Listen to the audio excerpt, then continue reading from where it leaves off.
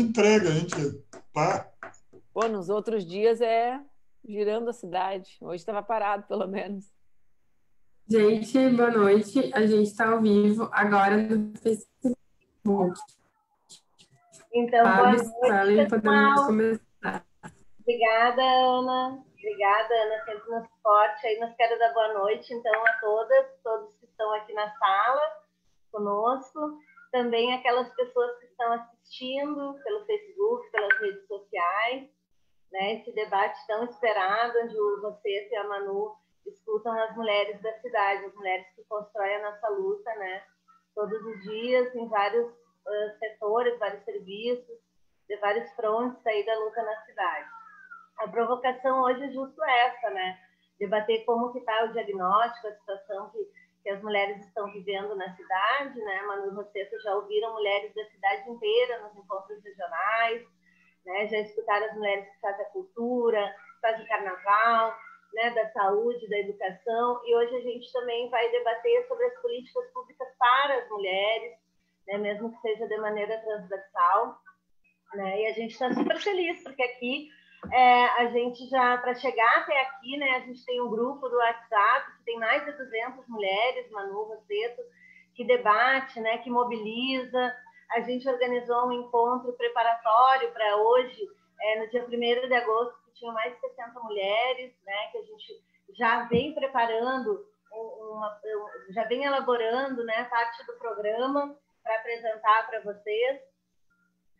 E, e, hoje a gente tem essa provocação, então, de ouvir aqui, várias mulheres estão aqui para é, dizer um pouco dessa elaboração também, as que estão no grupo, mas com certeza vão ter outras também aqui, que ainda não estão no grupo, mas que vão estar com a gente e que também vão ser ouvidas aqui por vocês é, com as suas propostas.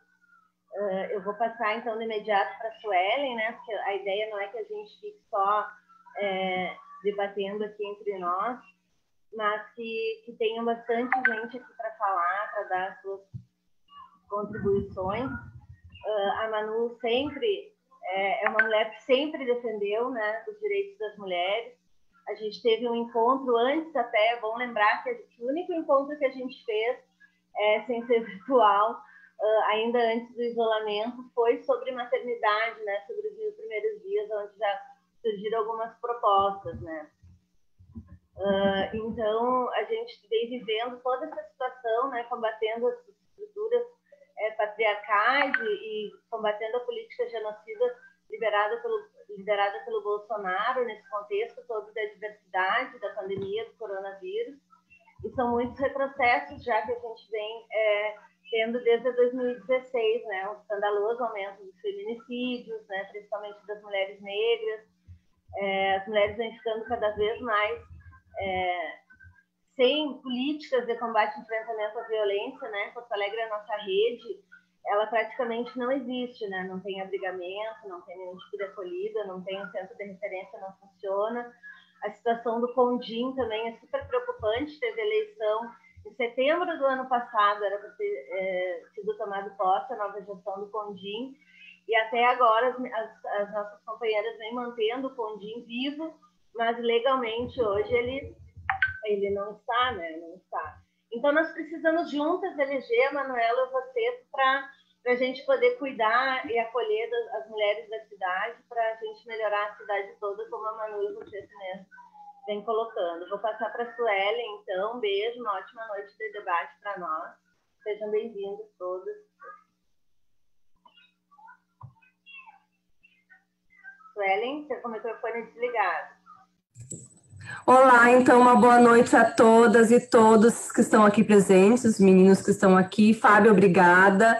Então, eu gostaria de apresentar um conjunto da nossa dinâmica da noite, que nós, então, estamos fazendo essa proposta de ser um espaço de acolhimento, de escuta e um espaço seguro para que a gente possa trazer todos esses temas que a Fábio muito bem elencou, mas também a nossa realidade a partir das nossas experiências territoriais, setoriais então, gostaria de comunicar, então, que nós construímos uma possibilidade de a gente ter até, ter, uh, perdão, até 20 inscrições de até três minutos, que a partir de agora, então, vocês fiquem à vontade em fazer as inscrições aqui no chat. Nós teremos, então, uma equipe aqui que está já está aqui para pegar essas, essas inscrições, a gente vai se inscrevendo e vamos abrindo esse espaço de escuta. Então, imediatamente eu gostaria de passar a palavra para o nosso futuro vice-prefeito, nosso companheiro aliado de uma luta histórica, companheiro Miguel Rosseto, está com a palavra, Miguel. Então, Suelen, que bom, viu? A Fabi, vocês que vão coordenar esse, essa noite bonita, né? De todas as mulheres da cidade, né? De todas as idades, todas as cores, todos os bairros. E abraçar a Manuela, que está aqui conosco. Eu não estou enxergando, mas a gente tem que né, se enxergar nisso. Estou aqui, vê se agora tu me enxerga, Miguel. Vê se acende para ti. Enfim, mudou. Opa, oi, Manuela. Bom, querida, e impressionante, somos, somos, somos mais de 100, né? 110 companheiras eh, que se reúnem hoje. Vai ser uma noite muito importante. Eu não sei, Manuela, se é a nossa última quarta-feira, onde nós nos encontramos assim, é, com a cidade, todas as quartas, né, nesses últimos meses, nós escutamos a cidade, né? Nas segundas, escutamos os bairros e estamos construindo a nossa agenda de mudança da cidade de Porto Alegre.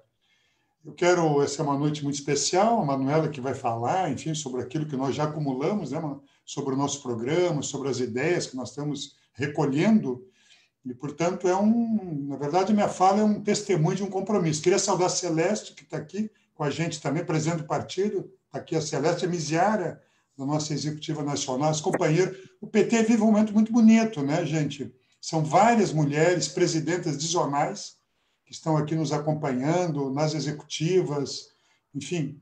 E eu queria saudar todas essas companheiras. Na verdade, a minha fala aqui é reafirmar o compromisso quer dizer, eu, eu, eu, essa condição de vice de vice-prefeito feminista, né? quer dizer, que carrega compromissos com essa agenda.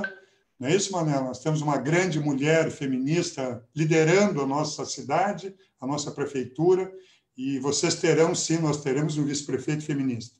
Essa é uma agenda fundamental para a nossa cidade. Nós queremos construir uma cidade sem violências, sem toda e qualquer violência. Nós queremos uma cidade eh, que vai disputar, sim, politicamente, culturalmente, legalmente, o fim da violência, da violência física, da discriminação, eh, do ódio, e vai lutar, né? vai lutar para a construção de políticas públicas reais, verdadeiras, que cheguem na vida das mulheres, dos excluídos e construam na vida das mulheres a ideia da igualdade, a ideia dos direitos, a ideia do respeito. Significa ter políticas assim, de acolhimento, de saúde, de assistência, políticas para o mercado de trabalho, processo ao trabalho, a renda para a conquista das suas liberdades e autonomias econômicas que são fundamentais. Eu fico por aqui dizendo isso. Eu fico muito feliz assim. Eu acho que Porto Alegre que nós queremos é Porto Alegre de todas as cores, de todas as cores, mas pintar de lilás um pouco a prefeitura de Porto Alegre faz bem para toda a nossa cidade. Então, uma grande reunião para todos nós, um abraço para todas vocês, e nós temos uma data de encontro com esse futuro. Este sonho, eu digo isso como uma coisa bacana, este sonho de botar um pé nesse futuro, ele tem uma data de encontro que é o 15 de novembro. É uma data que nós queremos compartilhar e comemorar uma grande vitória política, das nossas ideias, dos nossos valores, começar esta construção dessa vitória no dia 15 de novembro e colocar um pé nesta cidade do futuro que vai respeitar todas e todos. Então, um abraço a todos vocês, uma grande reunião e uma grande vitória política para todos nós nessa cidade eh, que nós queremos, eh, libertária, da igualdade, que denuncie, que combate e que não aceite qualquer tipo de violência. Um abraço para vocês, uma boa reunião, tá, gente? Obrigada, companheiro Miguel. Fabi?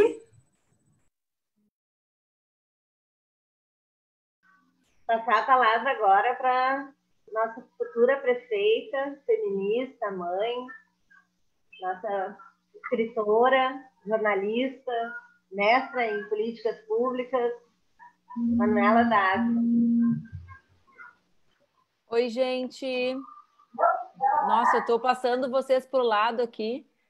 Estou vendo muita gente de muitas lutas, né? Fiquei indo com a tela para o lado, algumas com as fotos, outras com os vídeos, mas uh, acho que é o encontro, eu permito, me permito dizer, Miguel, o encontro mais bonito que a gente organizou nessas quartas-feiras, né? Um encontro para mim cheio de significados. Primeiro porque eu fui passando para o lado e vi mulheres que eu conheço de todos os lugares, né?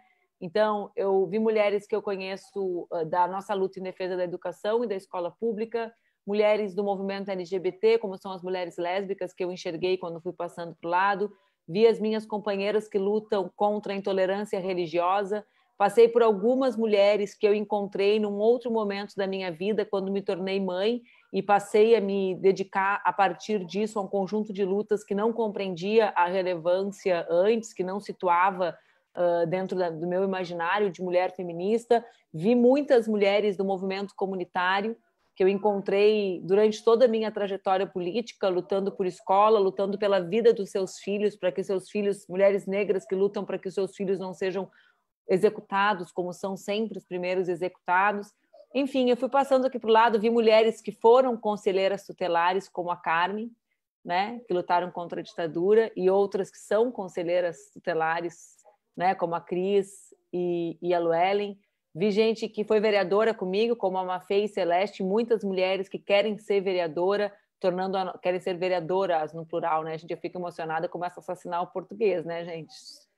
Uh, muitas mulheres que querem ocupar o parlamento, enfim, uh, eu estou bem emocionada. Mulheres do movimento estudantil, uh, vi cicloativistas, assim, eu fui passando para o lado e fui vendo um pouco de cada uma das lutas que a gente se engaja, porque nós estamos em todos os lugares da cidade. E eu quero começar dizendo isso para vocês. Para nós, esse encontro de hoje é um encontro muito difícil de ser organizado, né? Eu estou vendo agora mulheres da cultura, vai pipocando, vocês vão mudando de lugar e vai surgindo, vão surgindo rostos uh, de pessoas que eu conheço de, de muitos carnavais, né? De muitas lutas. Oi, Virgínia, agora tu apareceu mateando aqui embaixo eu, por que, que é tão complexo para a gente esse, esse encontro de hoje? Porque a gente faz dois movimentos, né, durante o processo eleitoral. Um, nós queremos uh, queremos construir um programa que seja direcionado à luta das mulheres, mas nós queremos desempacotar a pauta das mulheres. E isso uh, atravessa a construção do programa, né? Porque historicamente nós somos colocadas dentro de uma caixinha, né? A caixinha relacionada às mulheres nos programas de governo dos homens. Mas, na verdade, nós sabemos que o conjunto das propostas de governo tem que ser atravessadas pela nossa existência. Então, nós nos reunimos para nos organizarmos enquanto mulheres que somos, mas eu começo afirmando essas múltiplas identidades e espaços que nós ocupamos na cidade, porque o nosso compromisso é um compromisso com pensar a nossa, né, pensar a nossa condição de mulher em todos os temas relacionados à vida na cidade. Nesses últimos meses, eu e o Miguel, né, Miguel, temos feito um conjunto de encontros com lideranças da nossa cidade.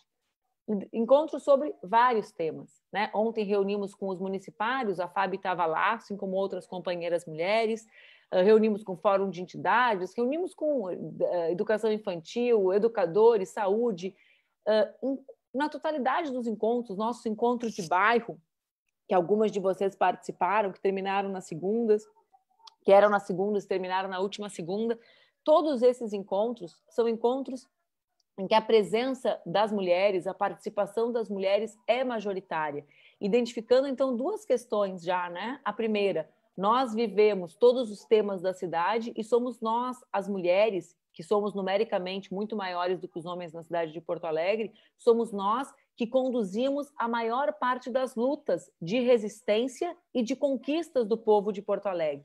Por que, que eu trago esses dois elementos no início? Porque eu nutri uma convicção ao longo dos últimos anos, como mulher militante feminista que eu sou, que o parâmetro de uma cidade boa para as pessoas viverem é a cidade ser boa para nós mulheres. Se a cidade for boa para nós, ela certamente será boa para todo mundo. Em primeiríssimo lugar, por isso que eu disse, nós não lutamos só pela gente. Nós mulheres nos encontramos na luta, lutando por uma sociedade que seja que tenha, que garanta a dignidade de todos e de todas, né? Nós lutamos pela nossa vida, mas nós lutamos pela vida dos nossos. E, portanto, se a cidade é boa para a gente, certamente nós só consideraremos boa uma cidade para a gente quando ela for boa, por exemplo, para usar um tema ah, que várias de vocês eh, dialogam permanente comigo, para os nossos filhos. Né? Como pode ser boa uma cidade para todos se nós temos um déficit de 12 mil vagas na educação infantil?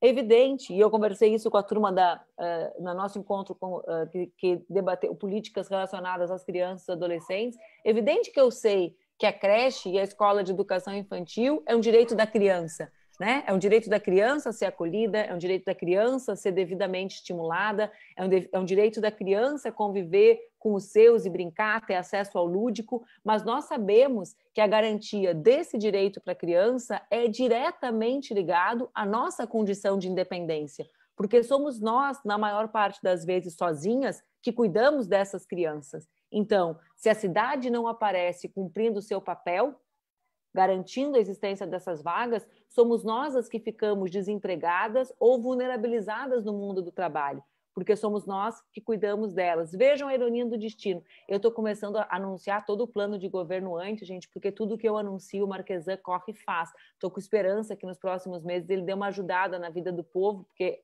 três anos e meio sem cuidar, né? Eu, aliás, eu fiquei pensando que eu podia concorrer, Miguel, até o final do ano, a ombudsman dele, sabe? porque eu faço a crítica, o ombudsman é o cara do jornal, eu sou jornalista, né, gente, que faz a crítica para o jornal reparar, porque tudo que a gente está criticando, ele está tentando remendar. Ele diminuiu nos últimos anos mais de 200, 221 vagas, ou 261 vagas, Miguel, me faltou um número agora, nas creches, né? E ele diminuiu, e ele aumentou só 600 vagas na educação infantil 4 ou 5 anos. Claro, ele fez uma gambiarra, para usar uma expressão popular, né? Ele diminuiu nas creches, que ele não é obrigado a manter, e aumentou na educação infantil, diminuiu nas mesmas escolas, né?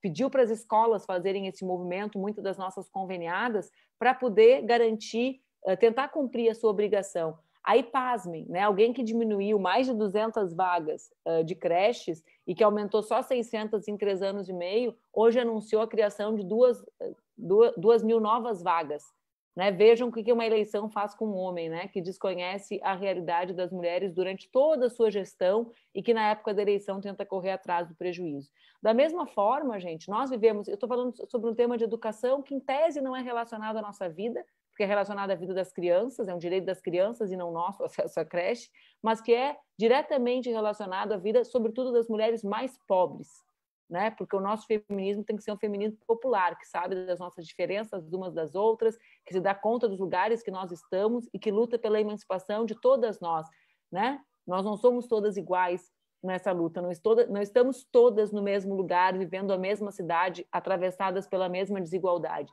Mas veja um outro dado relevante. Porto Alegre celebra, e tem muitas razões para celebrar, porque todas as vidas importam, uma diminuição expressiva do número de homicídios. Né? Globalmente, quando nós olhamos o número dos homicídios, Porto Alegre é uma cidade que vive com menos violência. Vou usar o termo violência associada a homicídios, né? Para a gente imaginar. As pessoas vivem com mais paz se morre menos gente, não é assim? É, só que morrem menos homens. O feminicídio aumentou na nossa cidade no último período, né, Ariane? Por que aumentou? Porque não é um crime motivado pelas mesmas razões. O cercamento eletrônico da cidade que é feito para diminuir furto de carro, né? ou as patrulhas gerais que fazem com que o número de roubo de banco e latrocínio seja reduzido, não é a política eficiente, eficaz para combater o feminicídio que nós sabemos as causas. E as causas são culturais, são socialmente, é o machismo arraigado na nossa sociedade. Portanto, eu falei sobre esses dois itens, que são itens genéricos do olhar sobre a cidade, que são reveladores de co como nós, mulheres, não vivemos em condição de igualdade com os homens em Porto Alegre. E, embora esse seja um espaço de escuta, né, Miguel? Nós viemos aqui para escutar vocês, e eu sei que vocês têm demandas de todas as áreas e de diferentes olhares sobre a cidade. Eu quero começar esse encontro assumindo dois compromissos que, para mim, são muito importantes, ou três, Fábio, vou colocar um terceiro, né? porque na, na, na, no mundo que a gente vive hoje, o que não era para ser compromisso tem que ser, o que era para ser obrigação tem que ser compromisso. O primeiro é de construir uma administração, um governo, né? Ser a primeira prefeita de Porto Alegre me faz ter uma responsabilidade. Uh, só de falar a frase a gente já fica. Quem tem noção da responsabilidade, né, Silvana? Já fica assim, né? Já ser a primeira prefeita eleita da cidade de Porto Alegre me põe a responsabilidade gigantesca de saber que eu tenho a obrigação de fazer dessa cidade uma cidade em que as mulheres vivam com dignidade, né? E isso, para mim, precisa ser construído dialogando permanentemente com os movimentos de mulheres, com o Conselho Municipal dos Direitos das Mulheres, com as mulheres que atuam nas diferentes associações comunitárias, com os coletivos que se organizam, com os espaços de luta específica nossas, das mulheres, mas também reconhecendo o protagonismo das mulheres em múltiplos espaços das nossa, da nossa cidade, que são permanentemente invisibilizados pela atual administração. Portanto, nós queremos governar, né? Eu quero ser, emparcerada com Miguel, a primeira prefeita mulher, governar com mulheres, mas dialogando com as mulheres que constroem a nossa cidade, que constroem as políticas com recorte de gênero, mas que constroem também a educação, a saúde, a assistência e as demais políticas que são as que nós precisamos para reconstruir a cidade e garantir dignidade para o nosso povo. Se as mulheres são a ponta de lança das políticas públicas, são essas mulheres que precisam ser ouvidas para que nós construamos respostas para os nossos problemas que se amontoam com o passar dos anos. Isso era o que eu ia dizer que não ia ser compromisso, mas é que no tempo atual, que o prefeito não escuta nem o pessoal do mercado que está do outro lado da rua, né? a gente dizer que vai escutar tem que ser compromisso assumido, pra, porque do lado de lá né, esqueceu que Deus deu dois ouvidos e uma boca para escutar mais que fala. Né? O, o, segundo compromisso que eu quero assumir com vocês, que é um compromisso com as nossas crianças, mas que para mim, mulher que sou mãe há pouco tempo de uma criança, sei e consigo imaginar a diferença que faz na vida cotidiana, é o compromisso de nós zerarmos o déficit de vagas na educação infantil da nossa cidade.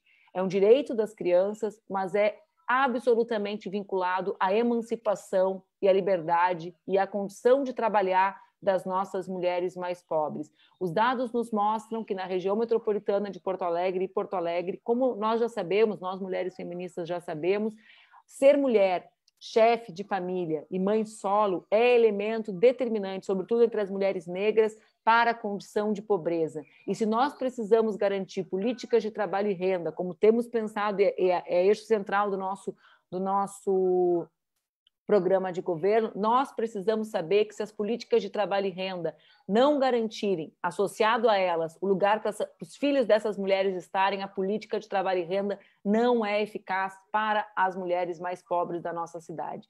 Portanto, não adianta gerar emprego se os empregos não atingirem as mulheres, porque elas continuariam, em tese, sem ter onde deixar os seus filhos. E o segundo é uma proposta que eu uh, pensei bastante, o Miguel sabe que eu tenho ela na minha cabeça, é algo que eu me apaixonei quando estive no, no, no, Maranhão, junto com o governador Flávio Dino, que é uma experiência que foi inaugurada quando nós governávamos o Brasil, Miguel, que chama Casa da Mulher Brasileira, que é uma política que deveria ser tocada pelo Estado, né, Ariane? Deveria ser tocada pelo Estado, porque tem relação com a vinculação, com a criação de um espaço único de atendimento às mulheres vítimas de violência, um espaço em que poder judiciário, delegacias, acolhimento, enfim, proteção das crianças, né? Inclusive a transição e o albergamento, vou usar essa palavra que eu nem sei se existe albergamento. Acho que deve existir, se não existe é boa, a gente podia criar, né?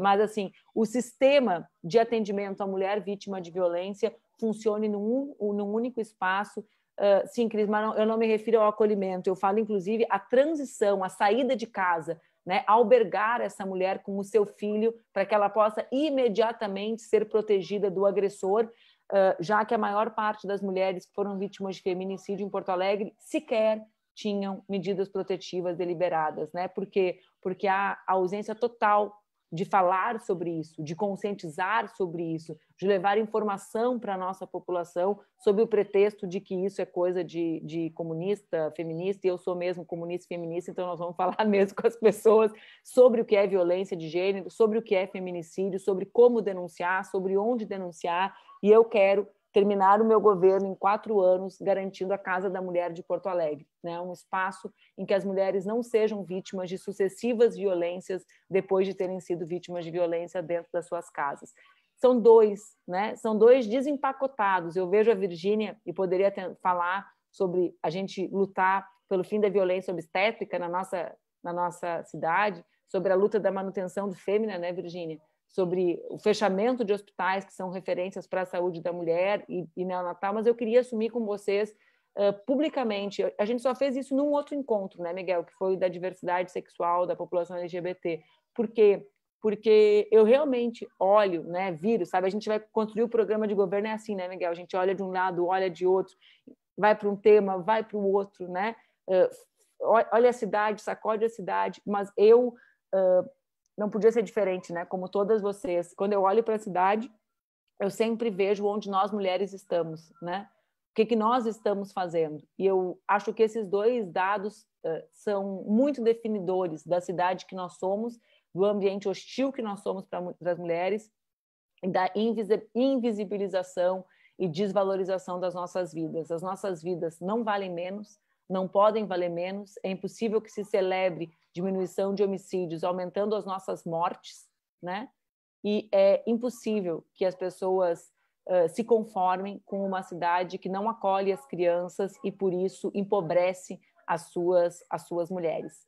Um bom encontro para todas nós. Eu as, as inscrições encerraram durante a minha fala, a Suelen informou ali embaixo, né? Então, agora eu e o Miguel escutaremos vocês. Obrigada pela participação de todas. Eu vou seguir virando eh, quadradinho por quadradinho para o lado para encontrar mais rostinhos de vocês. Abram as câmeras, gente, senão eu só fico vendo aquelas inicial de nome, umas fotos maquiadas, vocês ficam tudo bonitas. Eu não sei botar foto no Zoom, né? Vocês tudo têm umas fotos bonitas maquiadas ali, Miguel, e eu pareço só um M se eu fecho a minha câmera. Eu queria fazer uma foto toda assim, que nem vocês. É cada uma que vocês me aparecem. Tu também não está entendendo o assunto, Carmen, mas é que essas mulheres todas aqui, elas põem uma foto bem bonita Aí elas fecham a câmera, vão jantar, vão ficar ali, ficam só nos ouvindo e aparece uma foto que elas estão no, né? Estou sabendo como é que funciona isso aí. Sabendo? Eu às vezes fecho para mastigar, né, Biga? O pessoal já está acostumado. Bom encontro, gente. Manu, tão bom te ouvir, nos enche todas de esperança, né? Que a gente quer te ver lá e fazendo tudo isso, que a gente sabe que vai estar em ótimas mãos, diferente de como estamos agora, no meio dessa crise. Vamos começar então a chamar as inscrições de encerrar. A mulherada se inscreveu rapidamente, está todas, todas muito afim de falar, de colocar para vocês as propostas. A primeira inscrita é a Bruna Rodrigues. Bruna está com o áudio ligado já, se apresenta. E Boa noite, gente. Três minutos, vou avisar. Boa noite, Manu. Boa noite, Rosteto. Boa noite, mulherada. Estava uh, aqui pensando, ouvindo a Manu, e se eu acho que tem a Manu tem uma marca, a nossa candidatura tem uma marca, é a marca de quem não tem medo de ousar, né? A Manu se comprometeu aqui em a gente ter um plano para acabar com a nossa nosso déficit uh, de vaga na creche, né? Eu me encontrei com a Manu quando lutava pela conquista daquela vaga que para mim era decisiva e fundamental, né? Ontem, Manu, nós tivemos um encontro, uh, meu primeiro encontro de mulheres feministas. Foi lindo, foi muito emocionante. Nós Eu vi. Estamos elaborando um documento para te entregar de qual a cidade que nós queremos viver, qual a cidade que a gente sonha em ocupar. Mas parte de tudo que a gente debateu uh, tu já está sintonizada, né? São compromissos que a gente precisa firmar. Eu quero viver numa cidade onde a, a nossa juventude ou as nossas mulheres não tenham medo de perder os seus filhos, porque os nossos filhos, e essa é uma conversa que a gente tem há muito tempo, os nossos filhos nas nossas comunidades continuam morrendo. Né? A gente ainda não tem nenhum centro de capacitação, nenhum centro cultural nas nossas comunidades onde a nossa juventude possa viver, possa curtir a sua juventude, possa produzir culturalmente, profissionalmente. Né? Essa é uma demanda que todas, toda a cidade tem. Quando eu ando pela cidade e eu converso com a nossa gurizada, a gente sempre se pergunta em qual lugar que nós queremos que a nossa juventude ocupe. Eu acredito que uh, ter centros culturais e que também dialogue com a demanda de trabalho das nossas mulheres é essencial, né? Eu fico pensando ali na Cruzeiro, no lugar onde eu nasci e me criei, que nós temos uma grande estrutura, que é uma escola fechada, que podia hoje estar tá, uh, capacitando mulheres, está trabalhando com a nossa juventude, e ela está lá com os portões fechados, mas com a traseira aberta e sendo utilizada por outras outras formas, né, que a gente sabe que atuam aí. E eu também queria uh, aqui falar sobre algo que eu acho que é muito importante, que é a escola de turno integral. Né? Eu acredito que não tem como a gente pensar numa cidade que viva, onde as mulheres tenham liberdade, se a gente pensar na escola, se a gente remodelar a escola. Nossa mulherada não trabalha quatro horas por dia, né? A nossa mulherada trabalha o dia inteiro e, portanto, precisa de ter um atendimento integral para suas crianças, né? Eu sempre penso que quando eu saio para trabalhar ou quando eu saio para estudar, a Camille ela tem aula durante quatro horas, né? Esse outro tempo, a Camille está em casa, mas as filhas dos meus amigos não estão em casa, né? Estão na rua e a gente sendo uh, ali assediados por qualquer outra forma. A gente sabe que hoje quem disputa a nossa juventude não somos nós, né? A gente precisa ter uma cidade que seja para todas nós. Eu concordo contigo, acho que a gente, se a gente tiver uma cidade que pense nas nossas mulheres, a gente vai ter uma cidade que pense no conjunto da nossa população. Então, beijo, grande abraço para todas e um ótimo encontro. Pô, nós lutamos por creche desde 2004, né, Bruna? Vai ter que ser agora. Né? Então, obrigada, Bruna. De imediato, então, vamos passar a palavra para a nossa companheira Marcele Malta, por gentileza, minha querida. Fique à vontade, tem três minutos, comunicamos quando faltar um.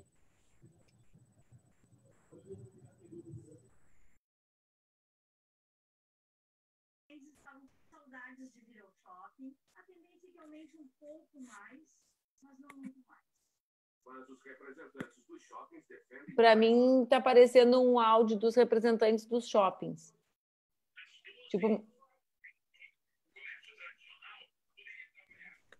Pode falar, Marcelia, acho que está com o microfone ligado já. Quer chamar, é, quer chamar a próxima inscrita enquanto a gente tenta resolver? Eu estou tentando localizar ela para ver se eu vejo o áudio dela.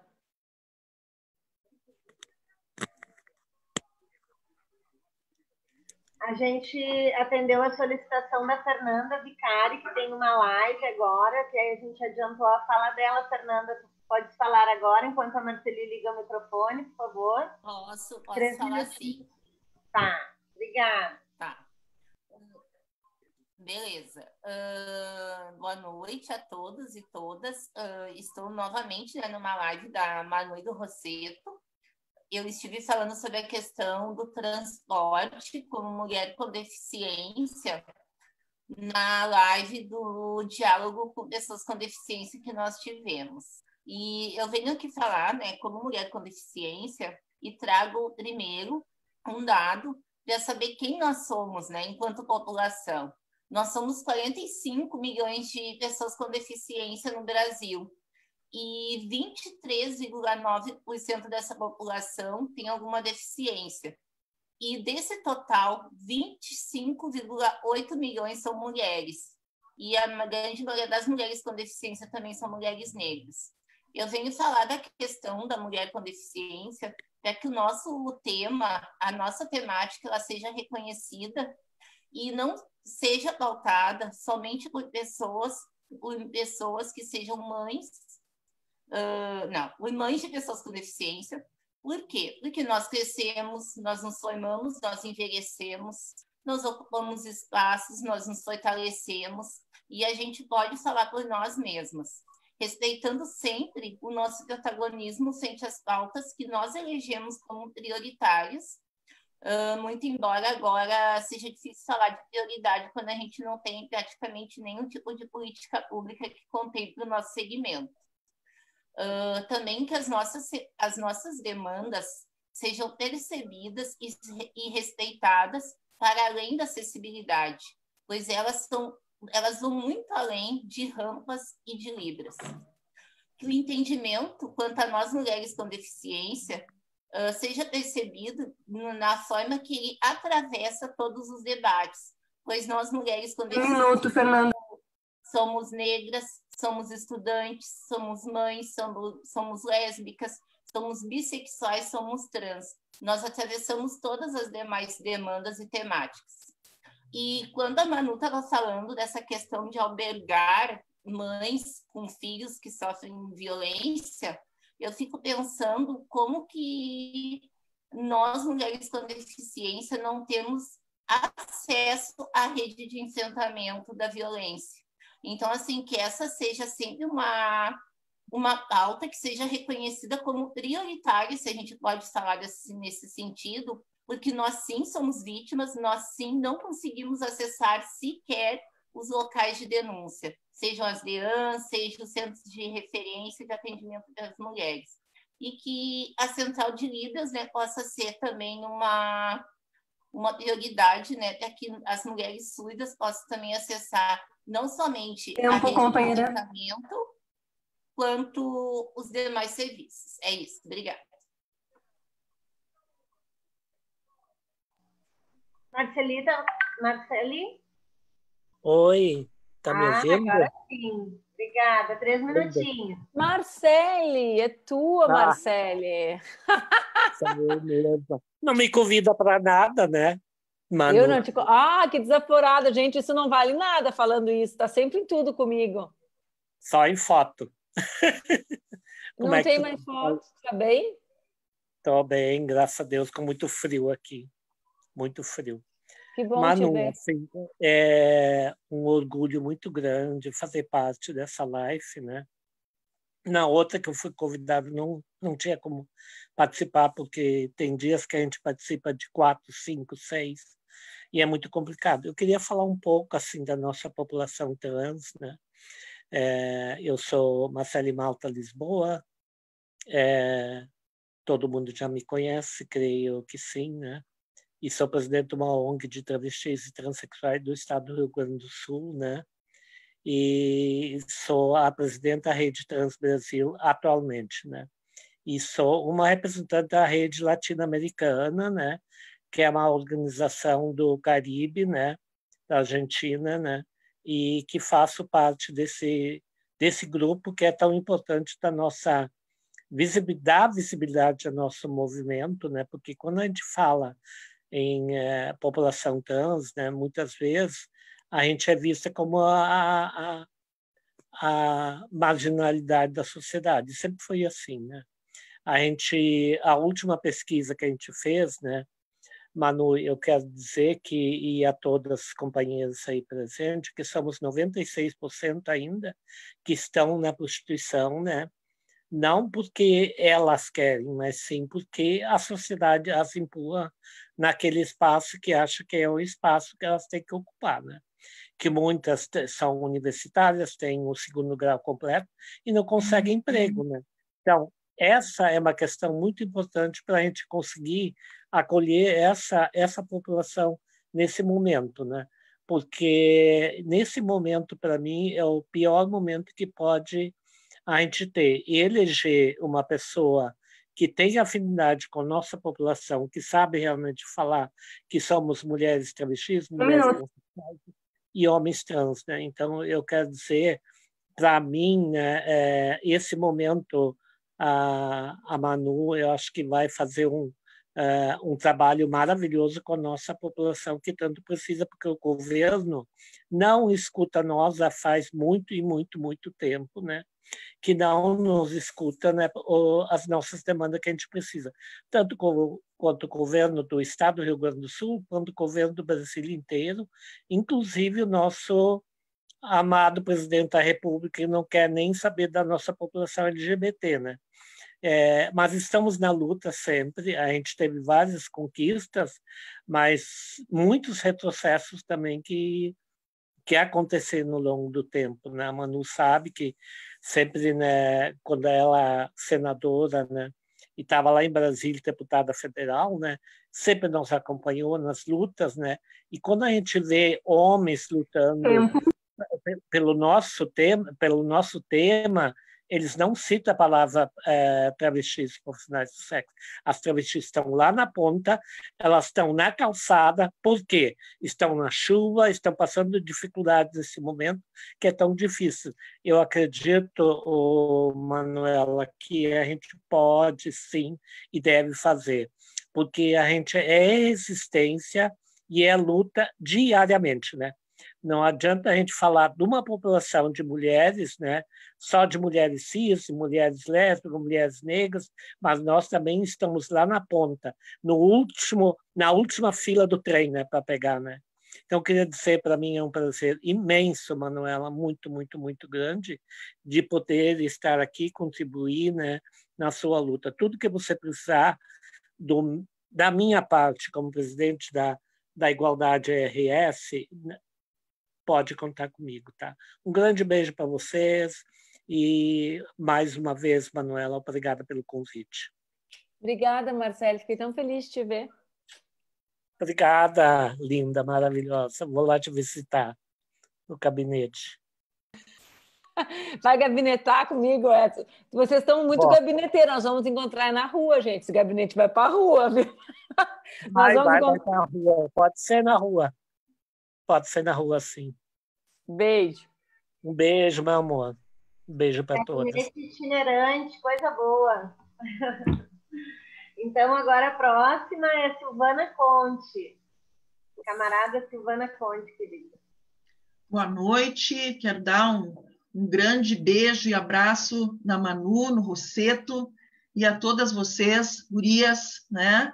De, de luta, que, que, sempre estão nas boas lutas, nas ruas e em todos os lugares da cidade. Vou ser bem breve, assim, porque eu estou muito animada. Eu acho que nesse período de pandemia, a gente ter um encontro como esse não é pouca coisa, porque a gente está vendo aqui o mapa da cidade. E eu acho muito legal, Manu, uh, essa intenção do programa de enxergar a cidade nos seus territórios. E uma questão que eu acho fundamental é que a gente precisa de um novo modelo de gestão. É isso, né? Um modelo de democracia radical e que a gente possa aproveitar a inteligência coletiva da cidade. E eu acho que é isso que o programa tem feito, né? Conversado com todo mundo, ouvido todo mundo. E a gente construiu no nosso, no nosso encontro de mulheres essa questão uh, uh, da Casa das Mulheres de Porto Alegre.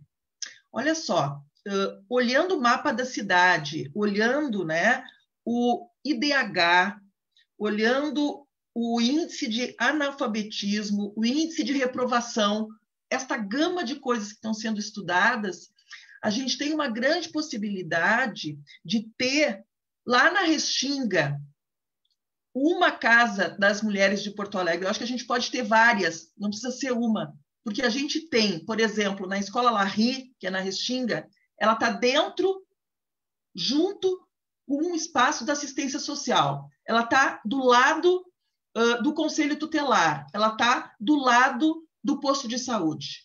E tem um equipamento gigante lá, que está ocioso, que no último período, uh, outras gestões, mas principalmente a gestão marquesã, deixou um equipamento completamente fechado e sem possibilidade uh, das comunidades acessarem. Então, olhando o mapa da cidade, olhando todos esses índices, acho que seria muito legal que a gente tivesse num espaço como na Restinga e vários outros também, tem um perto da Cruzeiro, tem um na Zona Norte. A gente, olhando o mapa, a gente tem condições de atender essas demandas, de ter essas casas das mulheres da cidade no seu território, para que possa ser porta de entrada de todas as políticas. Acho que é bem importante. E para finalizar, acho que também uh, é importante a gente pensar num sistema de proteção e acolhimento às mulheres que vivem em, em vulnerabilidade social. Acho que a gente tem condições, a gente tem essa inteligência coletiva aqui e fora daqui com as nossas companheiras que estão sempre na luta, nos seus territórios, criando as suas crianças, sendo chefas de família e vivendo nesse período de pandemia. Acho que pensar na cidade pós-pandemia, nesse novo normal, é enxergar os territórios com as lideranças das mulheres, tendo a nossa primeira prefeita e o nosso querido vice-prefeito feminista. Acho muito bom isso, Miguel. Um grande beijo, viu? Tempo.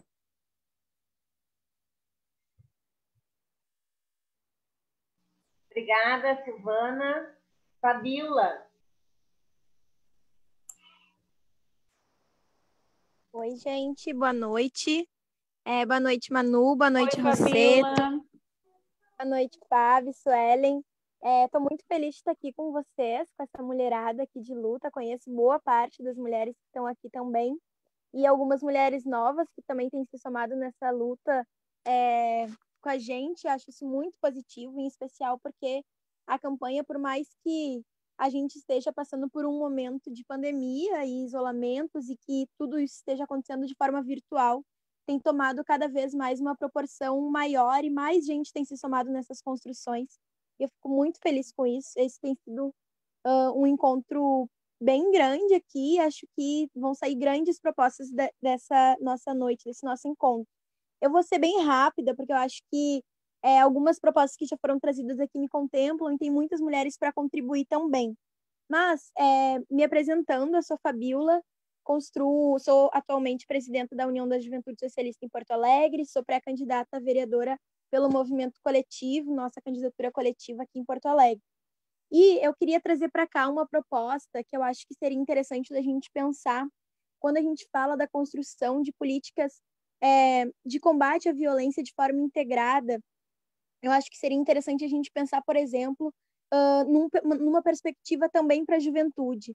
Eu tive um período é, vivendo e participando, vivendo no Maranhão e participando de alguns projetos que foram um construídos lá também.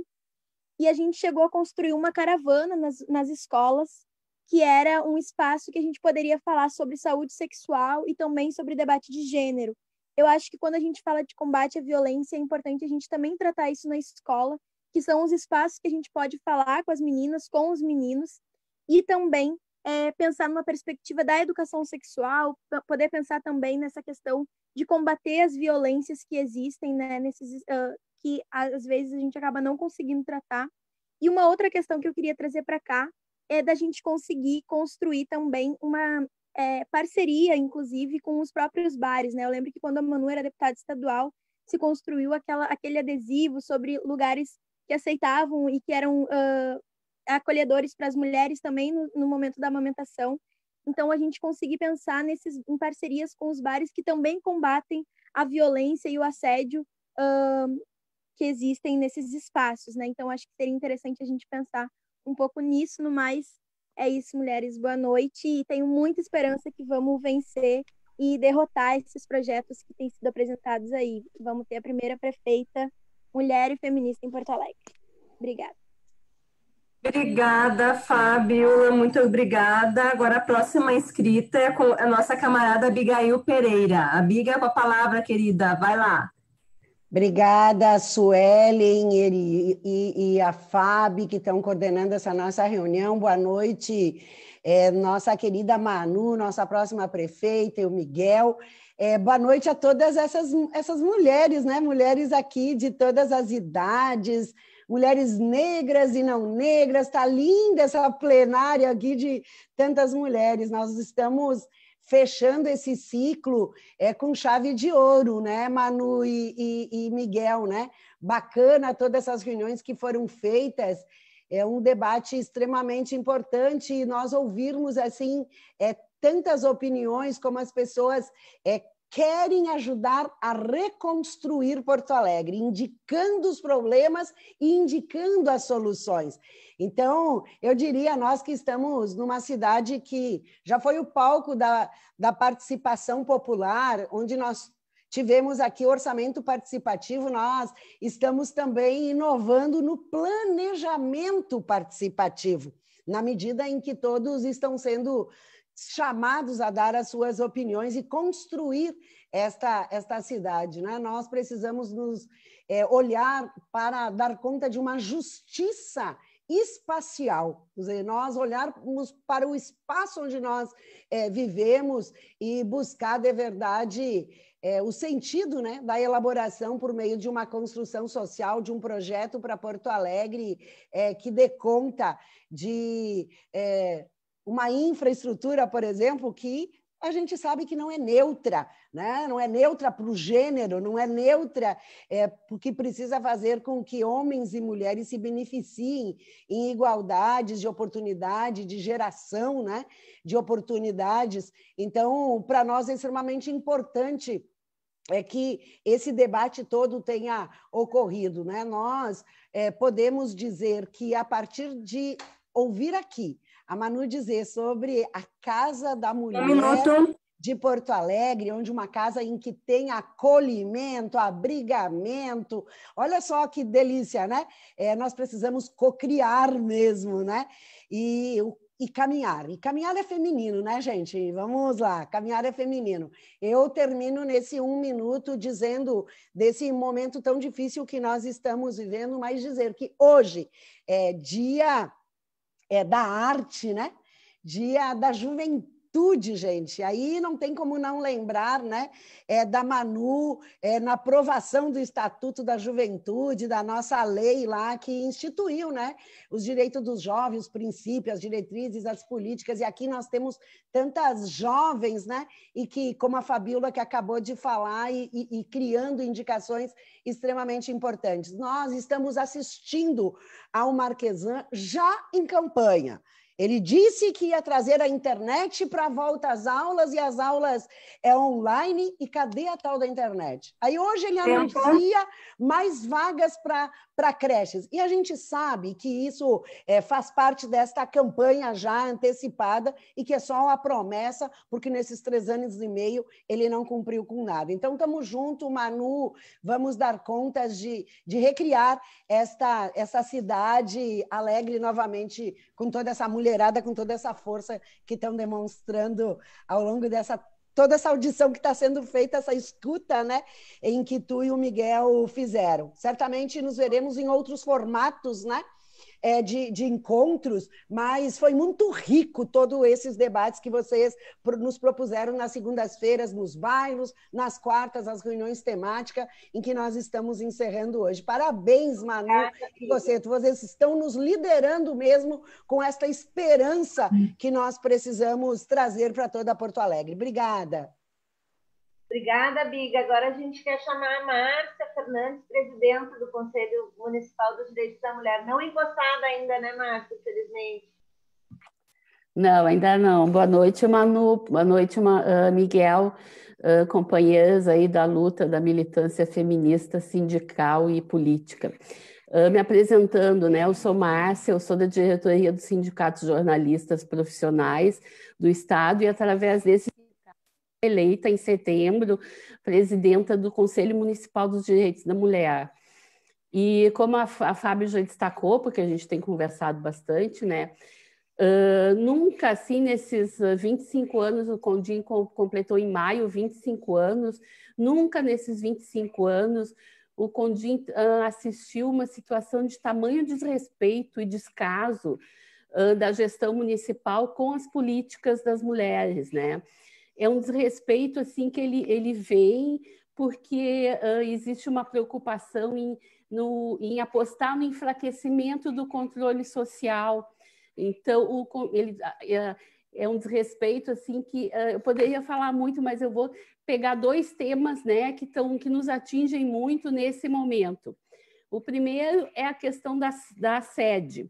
O Condim ele ocupa um espaço, um cantinho uh, na Unidade de Direitos da Mulher, que fica na, Rua dos Andradas, 1643, e é um local assim sem a mínima condição de funcionamento, seja porque não tem acessibilidade ou porque os horários são confusos e a gente não se sente à vontade de trabalhar naquele local.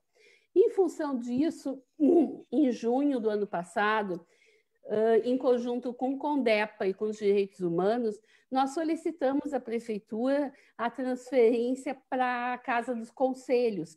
Fica aqui na João Pessoa e, na realidade, é um prédio que foi cedido né, para a prefeitura para abrigar os conselhos. desde lá, a gente vai, a gente vai de secretaria, quando podia, né, que não existia pandemia, a gente ia de secretaria em secretaria uh, e o ofício roda, roda, e nós não temos resposta dessa nossa demanda. Isso já faz mais de um ano. Um uma minuto. Outra, tá, uma outra questão que nos preocupa bastante é a questão da. Uh, o, o Condi, uh, nós, uh, nós tivemos eleição no dia 9 de setembro e no dia 30 de setembro para a plenária e para a executiva. Imediatamente nós encaminhamos os documentos para a prefeitura para que eles pudessem providenciar a posse. Desde então, a prefeitura não teve um tempo hábil de nos indicar as representantes governamentais. Eles têm que indicar sete titulares e sete suplentes. E não tem essa, essa. Enquanto, isso, enquanto essa indicação não ocorre, a nominata não é publicada no Diário Oficial e nós não conseguimos fazer a posse. E a gente tenta reuniões com secretários, reuniões, e, e a resposta não existe. Eles não têm a mínima intenção de tocar Tempo. nada a respeito à política das mulheres. Então é isso, e só pedindo desculpa que eu tenho, vou ter que sair mais cedo, que eu vou participar de uma live do meu grupo de poemas, vai falar na live da Lila. Então, às 19h30 eu saio, mas é mais ou menos isso, e que o Condim está com a Manu e com o Rosseto. Que bom, obrigada. Boa live. Em homenagem é um à Lila, merece né, tudo. Esse é um bom argumento para sair, né? Ela vai para uma live. Nossa, depois... para a live em homenagem à Lila. Que bacana. É, é a live que eu estou promovendo, Manu.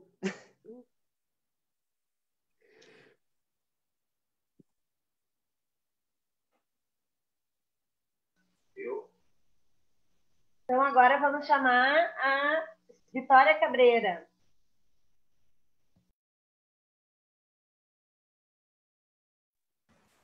Oi, gente. Acho que consegui abrir meu microfone aqui. Boa noite para todo mundo. Como a Fábio me apresentou, eu me chamo Vitória. Eu sou presidente, agora licenciada da Unespa, que é a União Municipal dos Entes Secundaristas aqui de Porto Alegre. E eu também sou pré-candidata aqui da cidade de vereadora e coordeno a Juventude Pátria Livre, que é uma das juventudes do PCdoB. Quero dar boa noite primeiro para Manu, para o Rosseto, agradecer a oportunidade de a gente estar podendo conversar aqui hoje Hoje, como foi falado por outras, também é o Dia Internacional da Juventude. Eu acho que não tem como é, eu não linkar uma coisa com a outra, né?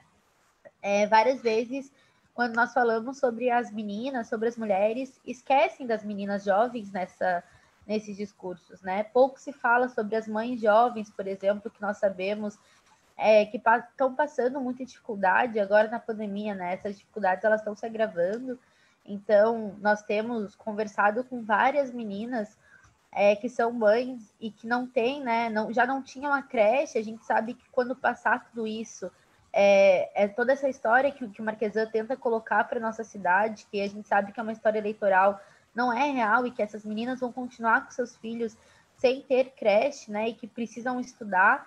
É, essas meninas são as mesmas que na hora do estágio sempre são a última da fila para ser contratada já que sempre esquecem muito uh, das meninas, né? Ou fingem que esquecem das meninas que são mães. Então, eu queria colocar isso é, porque a gente vem crescendo as meninas jovens que estão virando mãe aqui na cidade, é, mas as demandas elas não aumentam, as demandas não, né? Mas as vagas na creche não aumentam e essas meninas acabam sendo esquecidas mas também queria falar sobre a questão da precarização do trabalho, né? Porque ao mesmo tempo em que as meninas não são aceitas nos estágios, não são aceitas no trabalho, essas meninas precisam conseguir trabalhar para se alimentar, para alimentar sua família, seus irmãos mais novos, né?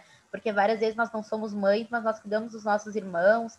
Então, é, essas meninas hoje estão indo para os aplicativos que a gente sabe que não são seguros para as gurias, né? Então, nós temos exemplos de várias meninas aqui em Porto Alegre que estão tendo que subir em cima da sua bike para conseguir entregar comida para sobreviver. E, ao mesmo tempo, não existe segurança na nossa cidade para essas meninas, né? Então, eu vi que estavam colocando ali no chat a questão da iluminação. As meninas vão trabalhar sem saber se vão voltar vivas para casa, porque os meninos vão trabalhar sem saber se vão voltar com o celular, se vão voltar né, com a sua bag. Mas as meninas têm medo de morrer durante a hora do seu trabalho, porque não existe essa Um minuto. Então, eu queria pautar isso para todas, é, principalmente para Manu e para o Rosseto, porque a gente precisa debater aonde essas meninas jovens é, que não conseguem trabalho na nossa cidade estão indo, né? E para isso é muito, muito preocupante para a gente.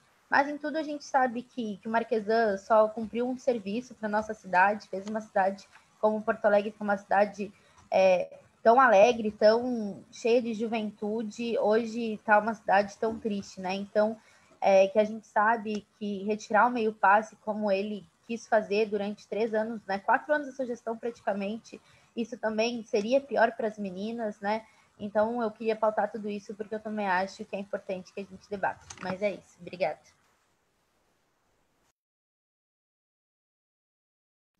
Obrigada, Vitória. Agora é a Luellen, inscrita, presidenta da UBM. Boa noite. Boa noite para todas e todos. boa noite, Manu. Boa noite, Rosseto.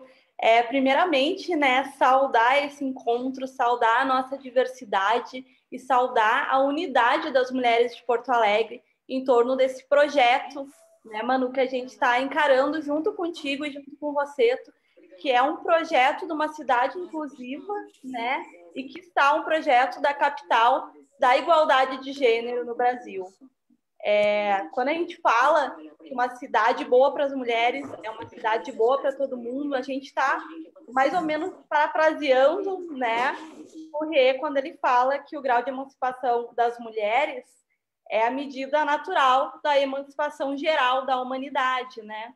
E por isso é tão importante a gente ter um programa né, eh, de governo emancipatório para as mulheres.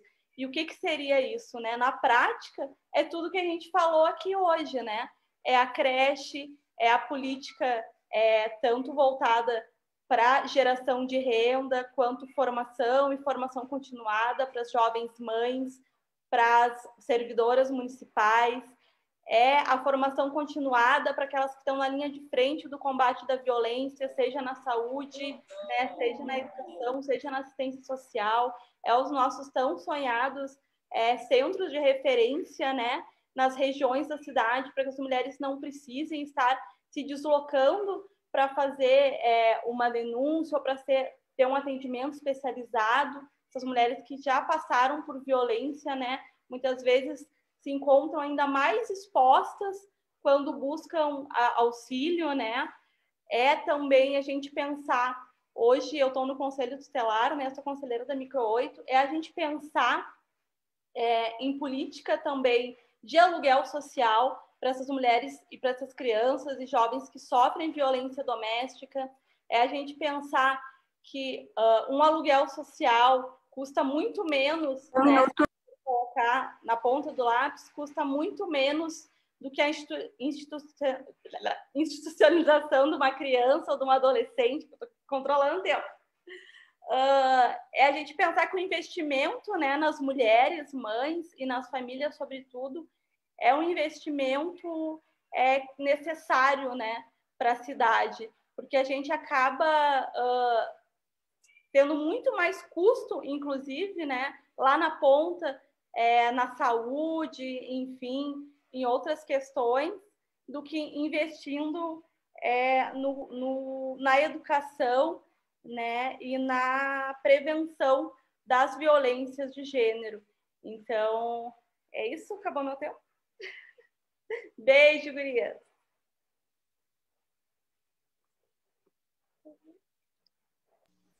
Obrigada, Luellen. É agora chamar a Cuca, Luciane Congo. Boa noite, boa noite a todos e todas que nos assistem. Boa noite, Manu, Rosseto.